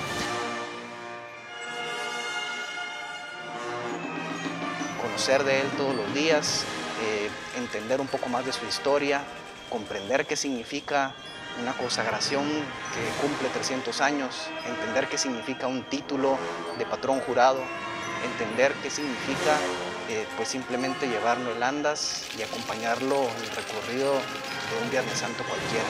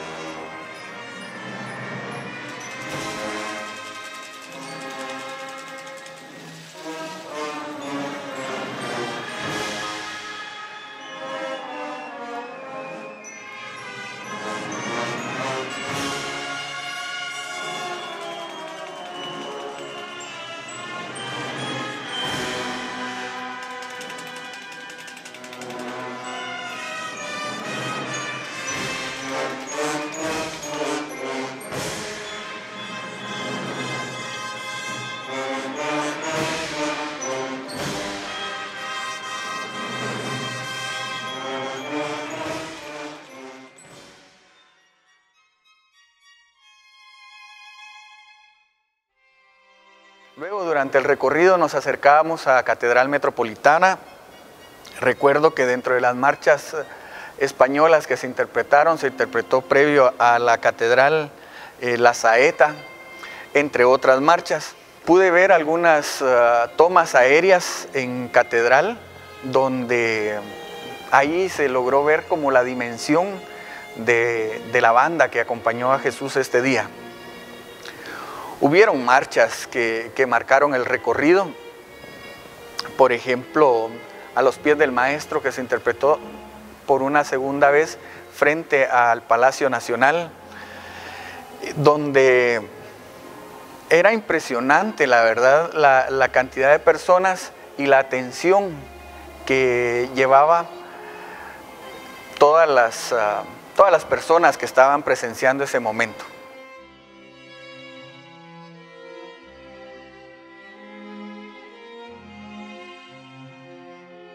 Creo que tengo presentes palabras que ellos dijeron y que, fueron bien importantes y, muy agradable escuchar, porque palabras como es una gran responsabilidad, la tengo muy presente esa, tengo muy presente, es un gran honor el que nos están dando, tengo muy presente qué emoción, qué emoción, qué honor el, poder llevar el paso del Señor de la Merced.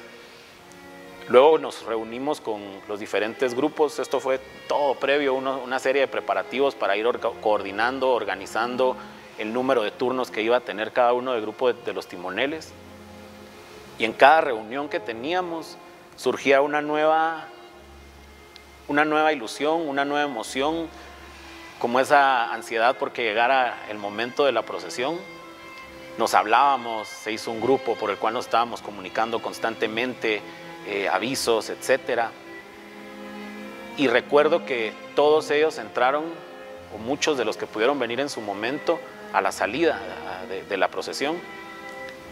Y creo que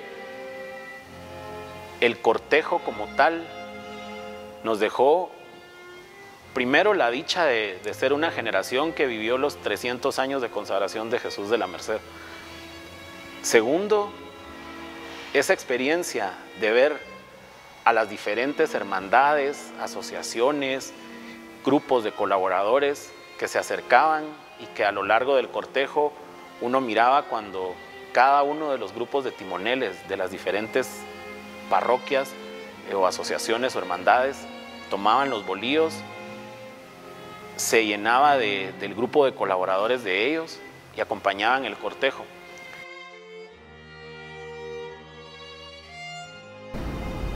Para mí, los 300 años de Jesús empezaron muchísimo antes, porque la planificación sí es muy grande y teníamos que crear como el concepto a seguir o lo que o por lo que íbamos, cómo íbamos a manejar todo el, tema de los 300. Y todo empezó por el tiempo, por el reloj.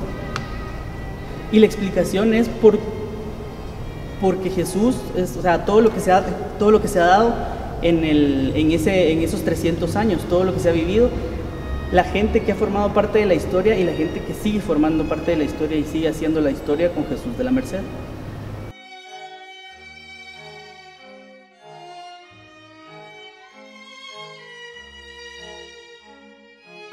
Y todo empezó, y todo está amarrado en los dos diseños de los adornos, tanto de Semana Santa como de los 300. ¿Y por qué? Porque la concepción del adorno es así, aparte de toda la explicación que se ha dado o que salió, en, mis palabras es así. Em, todos profesamos una misma fe y todo empezó por esa fe. Por esa fe es que hicieron la imagen de Jesús de la Merced. Y esa imagen de Jesús de la Merced creó una devoción en todo el pueblo. Esa devoción fue tan grande que lo llevó a su consagración. La consagración de Jesús, al, estar ya él consagrado, durante todos estos años, ha inspirado a mucha gente. Entonces el, angelito que estaba atrás era la representación de toda la inspiración, porque le ha inspirado poemas, pinturas, música, eh, orfebrería, textiles y demás. Y al final era el alfa y el omega, porque al final todos, o sea, nosotros tenemos la fe o, sea, o la devoción por, eh, por, la imagen de Jesús de la Merced, pero al final es un mismo Dios y es, y es la misma fe que profesamos todos independientemente de cuál sea. El reloj era la representación, el ángel viejo y el ángel joven es por el tiempo, lo que expliqué antes, el tiempo que pasó y el tiempo que viene, porque la historia la seguimos haciendo. Y el niño de la demanda iba con él porque él fue parte importante de la historia de Jesús de la Merced. Al llegar a los 300, seguía el mismo concepto. Pero ¿cómo íbamos a seguir ese mismo concepto? Es lo mismo, durante todo el tiempo que Jesús ha estado, se le han dado mil títulos, ha habido mil leyendas, mil comentarios, eh, mil cosas. Y todos esos títulos nos sentamos un día y empezamos a escribirlos. ¿Cuáles eran los más representativos? Cuáles eran los que más le llegaban le llegaban a la gente o cuáles eran los que la gente más escuchaba.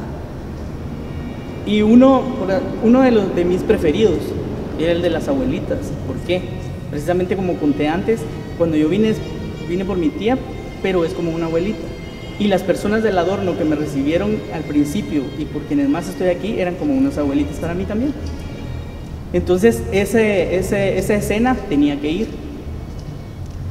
Después, em, la otra escena importante es la procesión de la reseña y por eso iba el ángel con las flores. El, eh, el, título de patrón jurado es muy importante, así como el de coronel, por eso eran dos elementos que iban. Y el otro era el de por todas las marchas que se le han interpretado a Jesús de la Merced y que le han regalado y ha sido inspiración para los músicos. Entonces por eso iba el otro, el otro angelito con las partituras. Y de último, yo en lo personal soy muy mariano. Y gracias a Dios el Padre también se ha dado mucho. Y entonces, qué mejor regalo que fuera la Virgen con Jesús que lo ha acompañado siempre. Y ahí pude yo eh, poner una frase al final que es muy de, que he escuchado toda mi vida y tiene parte que ver con mi educación eh, marista. Y es todo a Jesús por María. Y esa es la base de mi, de mi fe también.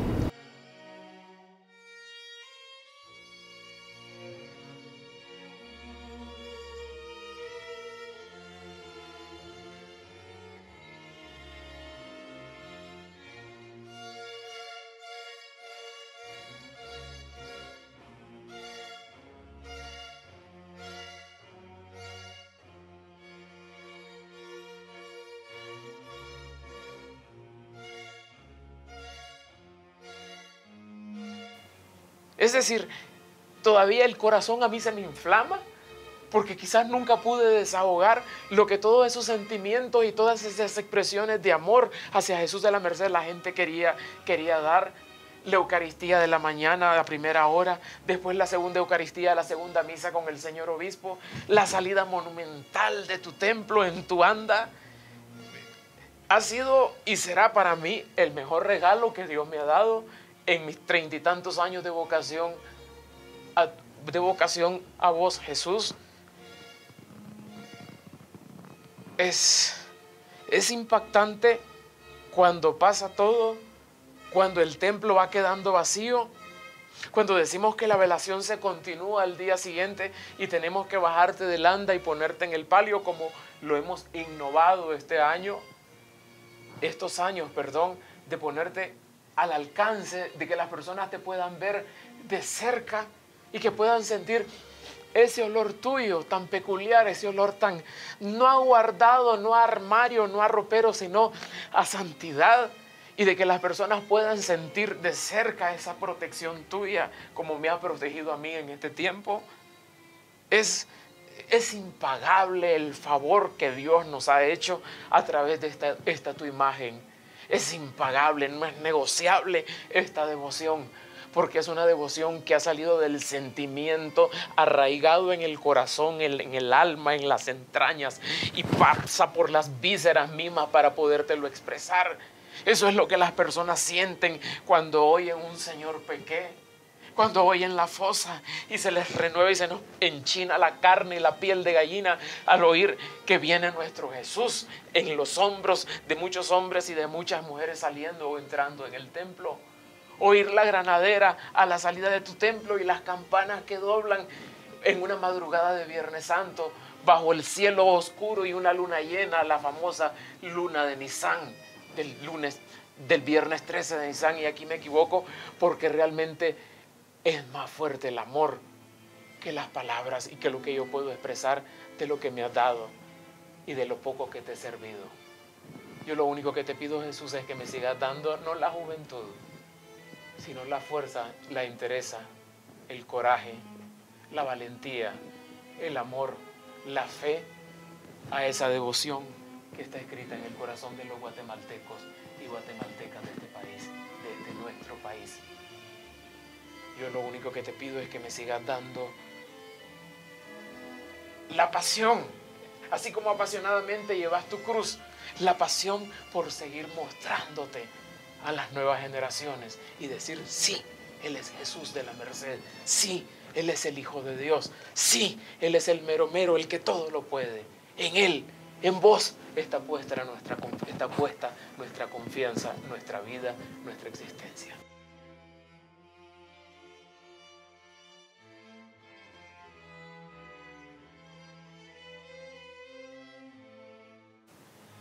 Jesús de la Merced no es un compromiso. Jesús de la Merced no es una moda para mí. Jesús de la Merced está más allá de cualquier explicación teológica o filosófica. Como he sido testigo de muchos favores y de muchas cosas buenas, de mucha intervención divina en familias, pues en la sala de la casa de mi madre hay una foto de Jesús de la Merced, a la par de la patrona de mi pueblo, la Virgen de la Luz. Y así sucesivamente he ido dando a conocer lo que ha sido de maravilloso para mi vida Jesús de la Merced. Entonces es multiplicando esa devoción, ese amor, ese cariño. Jesús de la Merced no se puede encerrar en una sola palabra y decir 301 años de consagración, más sesenta y tantos de veneración. No, Jesús de la Merced supera cualquier cifra matemática. Jesús de la Merced significa cualquier especulación de que si lo divino o lo sagrado está presente en esta imagen. Jesús de la Merced supera cualquier, cualquier misterio, porque simple y sencillamente Jesús de la Merced para mí en lo personal ha sido mantener viva mi vocación a Él mismo, al que está en los cielos, perpetuándose cada día, comprometiéndome más en cada celebración eucarística, haciéndolo presente en el pan y el vino para poderlo llevar a las demás personas. Ese es Jesús de la Merced.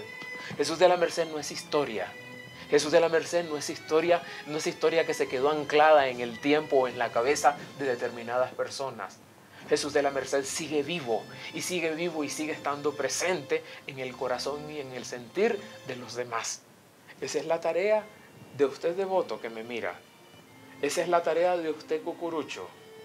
Yo les felicito en cada Viernes Santo cuando los veo portando su paletina, su túnica, su fajín como cucuruchos de Jesús de la Merced. Conozcámoslo, amémoslo, mantengamos la tradición que se sienta el olor acoroso a jacaranda y que inunde la ciudad de Pino, pero que se sienta de verdad también en ustedes el amor a Él, el amor a Él, el respeto, lo sagrado que se mantenga y que usted pueda llevar a sus familias eso que es único en nosotros. Dios nos ha bendecido y Dios nos ha bendecido de la presencia de nuestro Padre Eterno, nos ha bendecido a través de esta amada imagen.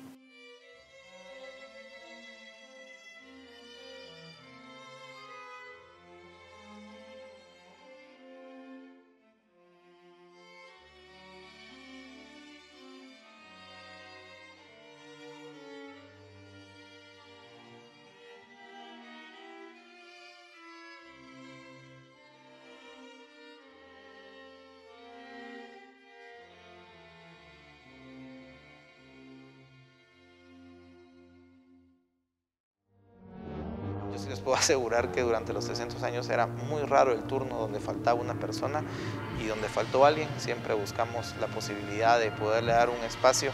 Eh, tengo muy presente, ya de regreso sobre la décima avenida A, llegando precisamente a eventos católicos, se acerca un caballero y me dice, mire, yo tenía que cargar a las 7, eh, ya no pude, eh, no llegué, solo puedo ahorita porque me vinieron a, a dejar y me van a regresar. Yo le digo, mire, me da mucha pena, pero este turno está completo. Y el muchacho que tengo enfrente me dice, si no le molesta, yo me corro y cargamos los dos juntos. Y le digo, mire, pero eso va a ser incómodo para usted, no va a cargar sobre la almohadilla, eh, va a cargar sobre la madera. Y la respuesta que él me da es, no importa, si ustedes lo permiten, yo quiero que él cargue con nosotros y que no se quede sin cargar a Jesús de la Merced en sus 300 años. Cuando Jesús hizo su último viraje y empezamos a ver ya de frente de nuevo eh, el templo de la Merced, empezaron los sentimientos encontrados en cuanto a que el cansancio pudo ser, pero no mayor que la satisfacción y el gusto de estar en ese momento que seguramente era un momento para contarle a, a, nuestros hijos, a nuestros nietos, a nuestros familiares, a todas las personas que se quedaron esperando en nuestros hogares. Teníamos tanto que contarles en esa noche que definitivamente en ese momento nosotros ya no queríamos que terminara la procesión. Recuerdo que interpretamos la Solevación de Cristo, una marcha italiana, la cual se ha arraigado exageradamente en el repertorio nacional. Y, y, fue esa marcha que hizo de que aquel bullicio tal vez en la antesala de la llegada a Jesús se terminara, que todos se callaran y que en un solo sentir el latido de miles de, de devotos de Jesús de la Merced estuvieran pendientes de ese momento en que Jesús iba a ingresar a su templo de nuevo y que iba a ser el momento en que terminara esta magna celebración.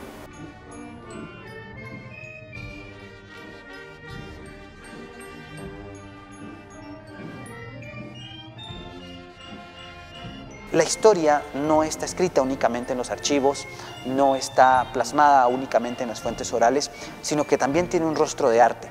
Y en ese sentido, Jesús Nazareno de la Merced es la expresión de la belleza barroca, de la belleza criolla, pero al mismo tiempo también es la expresión justamente de esa historia contradictoria, llena de complejidades que los guatemaltecos hemos tenido que ir sorteando a través de los siglos. Desde que Jesús Nazareno aparece en 1655 en la devoción y en el medio guatemalteco, pues eh, ha influido, o más bien dicho, ha captado la atención de múltiples sectores en nuestro país. Y por eso Jesús Nazareno ha también sido una pieza importante en la construcción de la historia de la ciudad de Guatemala, de la que originalmente nosotros sabemos la, ciudad de Santiago de Guatemala, pero también de la historia de las élites, de la historia de la devoción, de la historia de la cultura, de la historia del arte, de la historia de la política, de la historia social de nuestro país.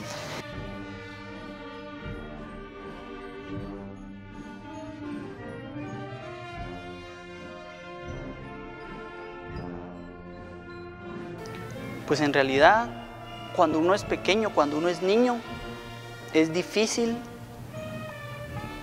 que lo convenzan, que le hagan entender quién era Jesús, quién era Dios. Nosotros sabemos ya como adultos, pues que Dios está en todas partes, que Jesús no es la imagen de Jesús de la Merced, pero como niños necesitamos tener algo que ver, algo que palpar. Y creo que eso en realidad es Jesús de la Merced para mí, es, es algo que me recuerda lo que existe ahí arriba. Si bien, como les decía, no es que sea Jesús, pero es una imagen que nos recuerda lo que fue Jesús, lo que hizo Jesús por nosotros. Jesús de la Merced está en mi, en mi, en mi cuarto, está en mi oficina, está en mi cartera, está en, en mi automóvil. Es decir, ha sido el compañero de mi vida total. Eso es Jesús de la Merced.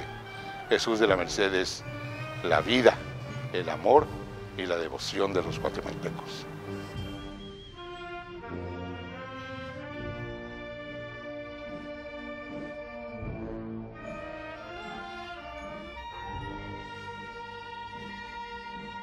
Eh, realmente yo quisiera invitar a todos, a todos a que, a que pues de una u otra manera le pidamos a Jesús todas las gracias, todas las necesidades que tengamos porque Él no nos falla. Estoy con la certeza del poder de la oración, del poder de Jesús a través de su imagen,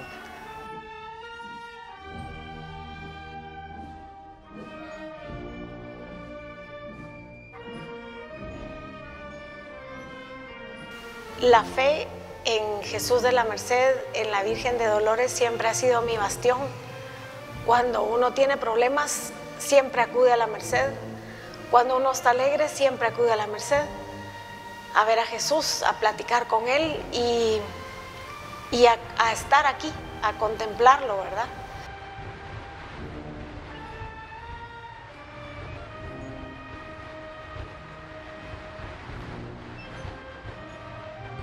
Jesús de la Merced es devoción, amor, entrega, dedicación, es triduo pascual, madrugada de Viernes Santo.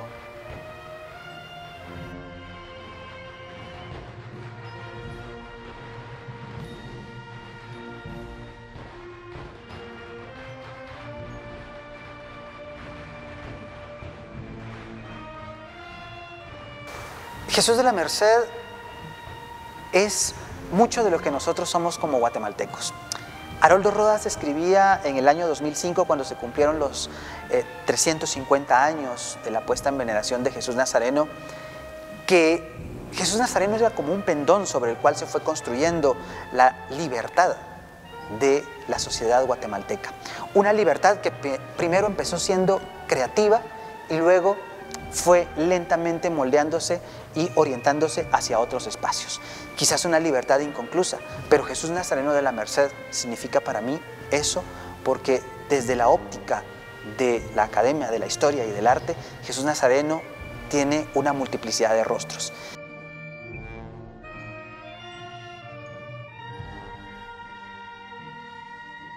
Pasado, presente y futuro se conjugan en una serie de vivencias y experiencias eh, traducidas en una formación que he recibido a lo largo de los años, caminando por los pasillos de la Merced, trabajando con tantas personas y con tantos colaboradores cercanos que hemos construido juntos ese camino de conocer primero nosotros a Jesús de la Merced y luego ser portadores de, de esa forma de conocerlo hacia otras personas, hacia otras generaciones.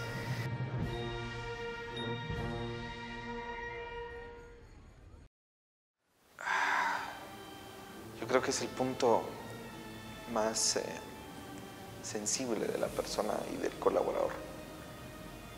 ¿Quién es? Es alguien vivo, alguien que me acompaña, alguien que me cuida.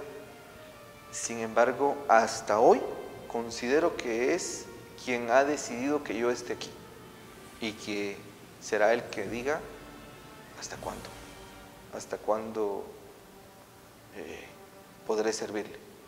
Pero más que todo ese paréntesis, esa, esa, burbuja que yo tengo aquí de mi vida en este templo, em, es quien me ha dado la salud, quien, quien me ha dado mi vida, quien me dio a mis hijos, quien me regaló a mi esposa, quien me ha dado lo que tengo y siempre me quiebra porque me preguntan eh, es el que me sacó de una enfermedad. Jesús de la Merced no solo es una imagen. Jesús de la Merced no solo es una tradición. Jesús de la Merced no es algo que es de Semana Santa. Es algo más, algo que motiva, que lleva, que lleva al encuentro con Cristo en esa representación. Él ha sido parte de mi vida, en la cual yo he compartido y he vivido muchos sentimientos, a los cuales agradezco, porque si es claro, Él ha encaminado mi vida y me ha llevado a toparme con personas y con cosas que me han hecho presente su presencia en mí. Jesús de la Merced ha sido la fuente de mi vocación, la fuente de mi servicio, la fuente del que emana todas las gracias que de Él he recibido. Sencillamente Jesús de la Merced es la presencia de Cristo en la tierra.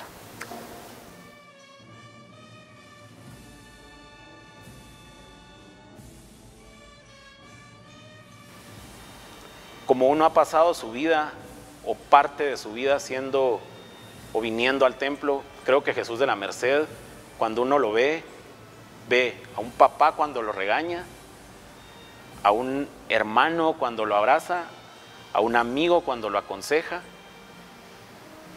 y ese algo que lo hace a uno llenarse de paz cuando la necesita y de esperanza cuando uno no sabe hacia dónde ir.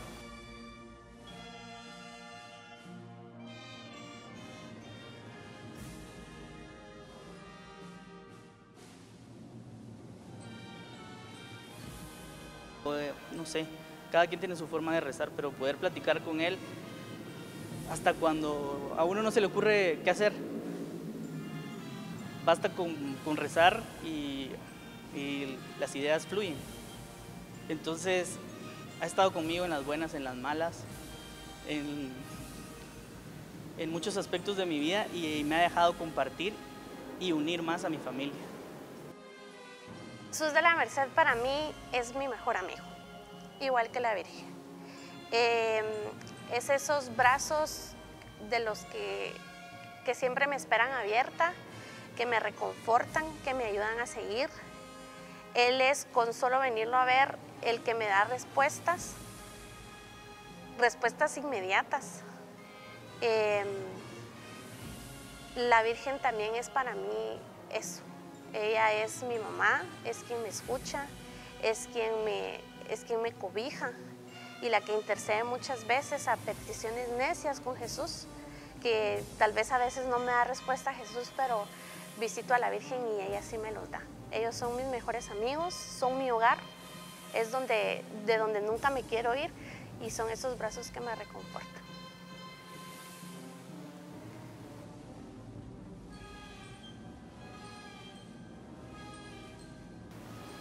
Es mi todo, es mi amor, es mi amigo, es mi confidente. Realmente eh, no, no, tendríamos palabras, en, en, realidad no tengo palabras para poder describir quién es Jesús de la Merced para mí, pero si lo pudiera describir en una sola palabra, es todo mi amor, es toda mi vida.